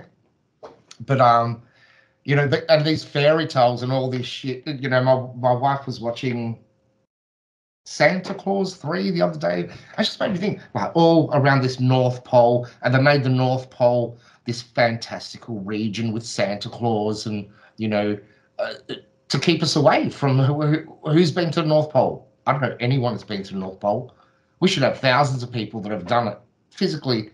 I'm taking a photo, a selfie from the North Pole. Yeah, can't be done. What's there? I don't even know. What are your speculations? Do you think it's a Oh, What do yeah, you I mean, yeah, I mean, I, I think at the very least, I think they are hiding something. I won't necessarily say what, both at the North Pole and beyond Antarctica. yeah? And the globe is the perfect shape to make us forget about both. Yeah. Because on a flat Earth, with Polaris, the central non moving star perfectly above the North Pole, which is the center. Yeah, it's the center of the flat Earth. That is now the most important place on the Earth. And then everything, and then the Antarctica is the outer rim, the southern rim. And so, of course, you would want to explore to see how far south can you go. But Is it truly a rim or is it infinite or, or whatever? How far does Is it go? Is it domed? Is it, you know? Yeah. And so, naturally, if we were given the truth, the North Pole and Antarctica are by far the most significant places on Earth. Everywhere else is just the the grooves on a record player. Yeah. The North the North Pole is where you put the record. The South Yeah. Pole is is the end of the record. Of course, Yeah. of course, those are the the most uh, intrinsically interesting parts of it that humanity would want to explore. So how do you take make humanity not want to explore those two significant significant places? You you put it on a sphere. A rapid. sphere is the Yeah. only shape where there's no there's no points. There is Yeah. no significant point on a sphere. And and then you can say, oh, there's no up and down. So now suddenly the North Pole is just a it's not the North Pole. It's just a random spot on a sphere.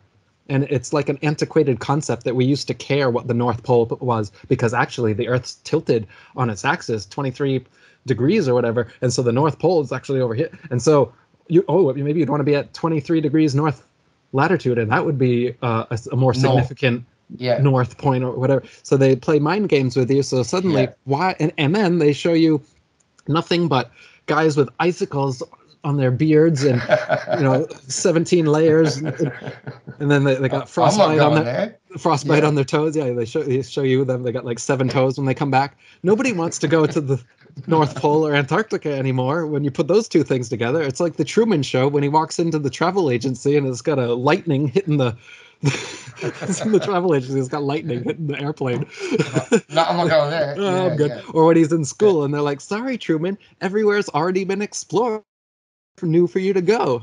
And so his his wanderlust, his his spirit for adventure, is crushed from childhood, and that's exactly what NASA does with this shape that they've they've Mm. balled the flat Earth up into a sphere so that all places are equally significant or insignificant. So you no longer have an inkling of where to go to to get out of here.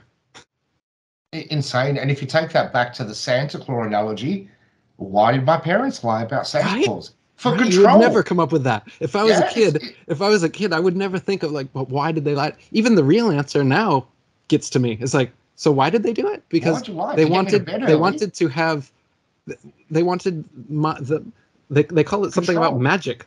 Well, maybe they, maybe that's even subconscious. But when, when I s- when I talk to them about it now, they say that they wanted me to experience the magic of believing in. So it's like Right. Disney stuff. I wonder if NASA will say the same thing actually. when we all I'm- figure I'm it out. is- when we all I'm figure it out and I've NASA kids, man. NASA pats the sofa and they're like, "Sit down, kids." Is NASA going to be like, "We wanted you to experience the magic of the globe Earth. We didn't want you to know reality because we didn't want you to We grow up too to- soon. We wanted you to have fun with being a work it out child." yourself. You know? Yeah. You know, but I've. I've got three kids, and you know, when they were young, it was handy. Santa Claus came in handy. It's like go to bed, otherwise Santa Claus won't bring you presents and all That's that the real sort of reason. stuff. So you become a real control freak with it, you know. Oh, you, they use that all the time. Santa You're gonna get you cold. Yeah, Yep, you're gonna get cold Right. this summer. That's it. Santa's watching. There's a to-do list, good and bad. I think I think that's the reason that parents sort of continue it, and you know that is Mm. like, but the the ones that have come up with this story, whoever came up with Mm. this, set, it is a, there's a far in-depth reason, and you know I've seen you know Saint Nicholas and all this, you know crazy stuff about that he would kidnap children and whatever, and you know back the original St. Saint Mhm. Nicholas or whatever it was, and Krampus. there was there's like an evil aspect of it. Yeah, it was a yeah. real evil aspect, was it? Wasn't it? And um, nothing they do is for one reason. People go, "Why the lie?" It's not a single-faceted lie. I don't think there's a single-faceted answer to that question because there's multiple reasons behind it. Um, and even could money be part of it? I think so as well. They're, you know, what are they?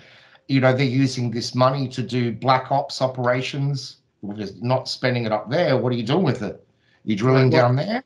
similar to how you said it's not about the money because they, they print the money yes but similar to like say a drug deal drug dealer they have to have their front business so that they they make their money one Okay. way but then they have to have a front business to funnel the money through, which is what I think that these NASA and other black budgets do. You have to have some, so, legit, legitimate in Shop, a quotations, legitimate legitimate yeah. reason. Yeah.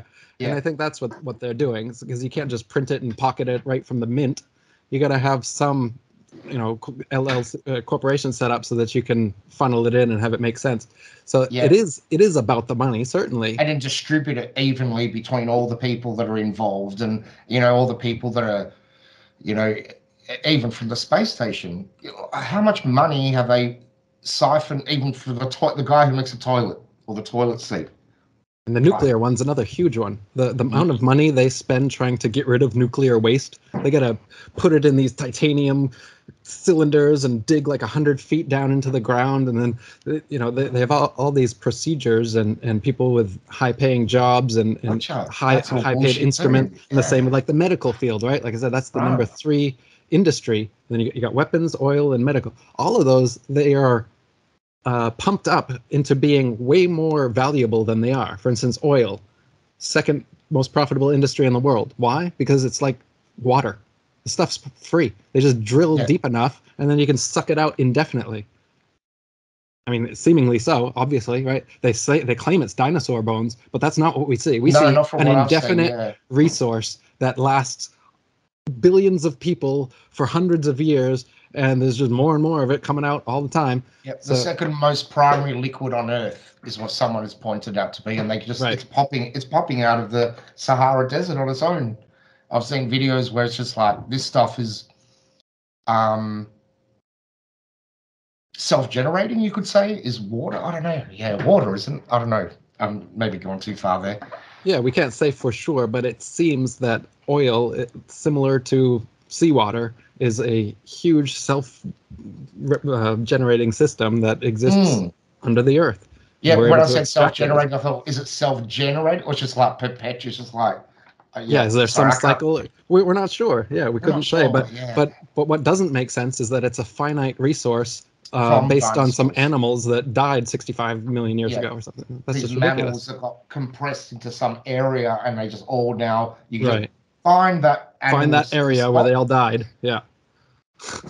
Crazy. Just Yeah. crazy thought. And uh, you know i think when we move uh, flat earth's going to break down a lot of this stuff and that's the beauty about it. And that's what it's doing. That's what it's Yeah. done because everyone that happening. dives into yeah everyone that dives into flat earth just to, you know it's like a the tentacles just stick to every it's like boom, that that grab that and you just you know start researching so many different topics. And um as we said before it's unstoppable.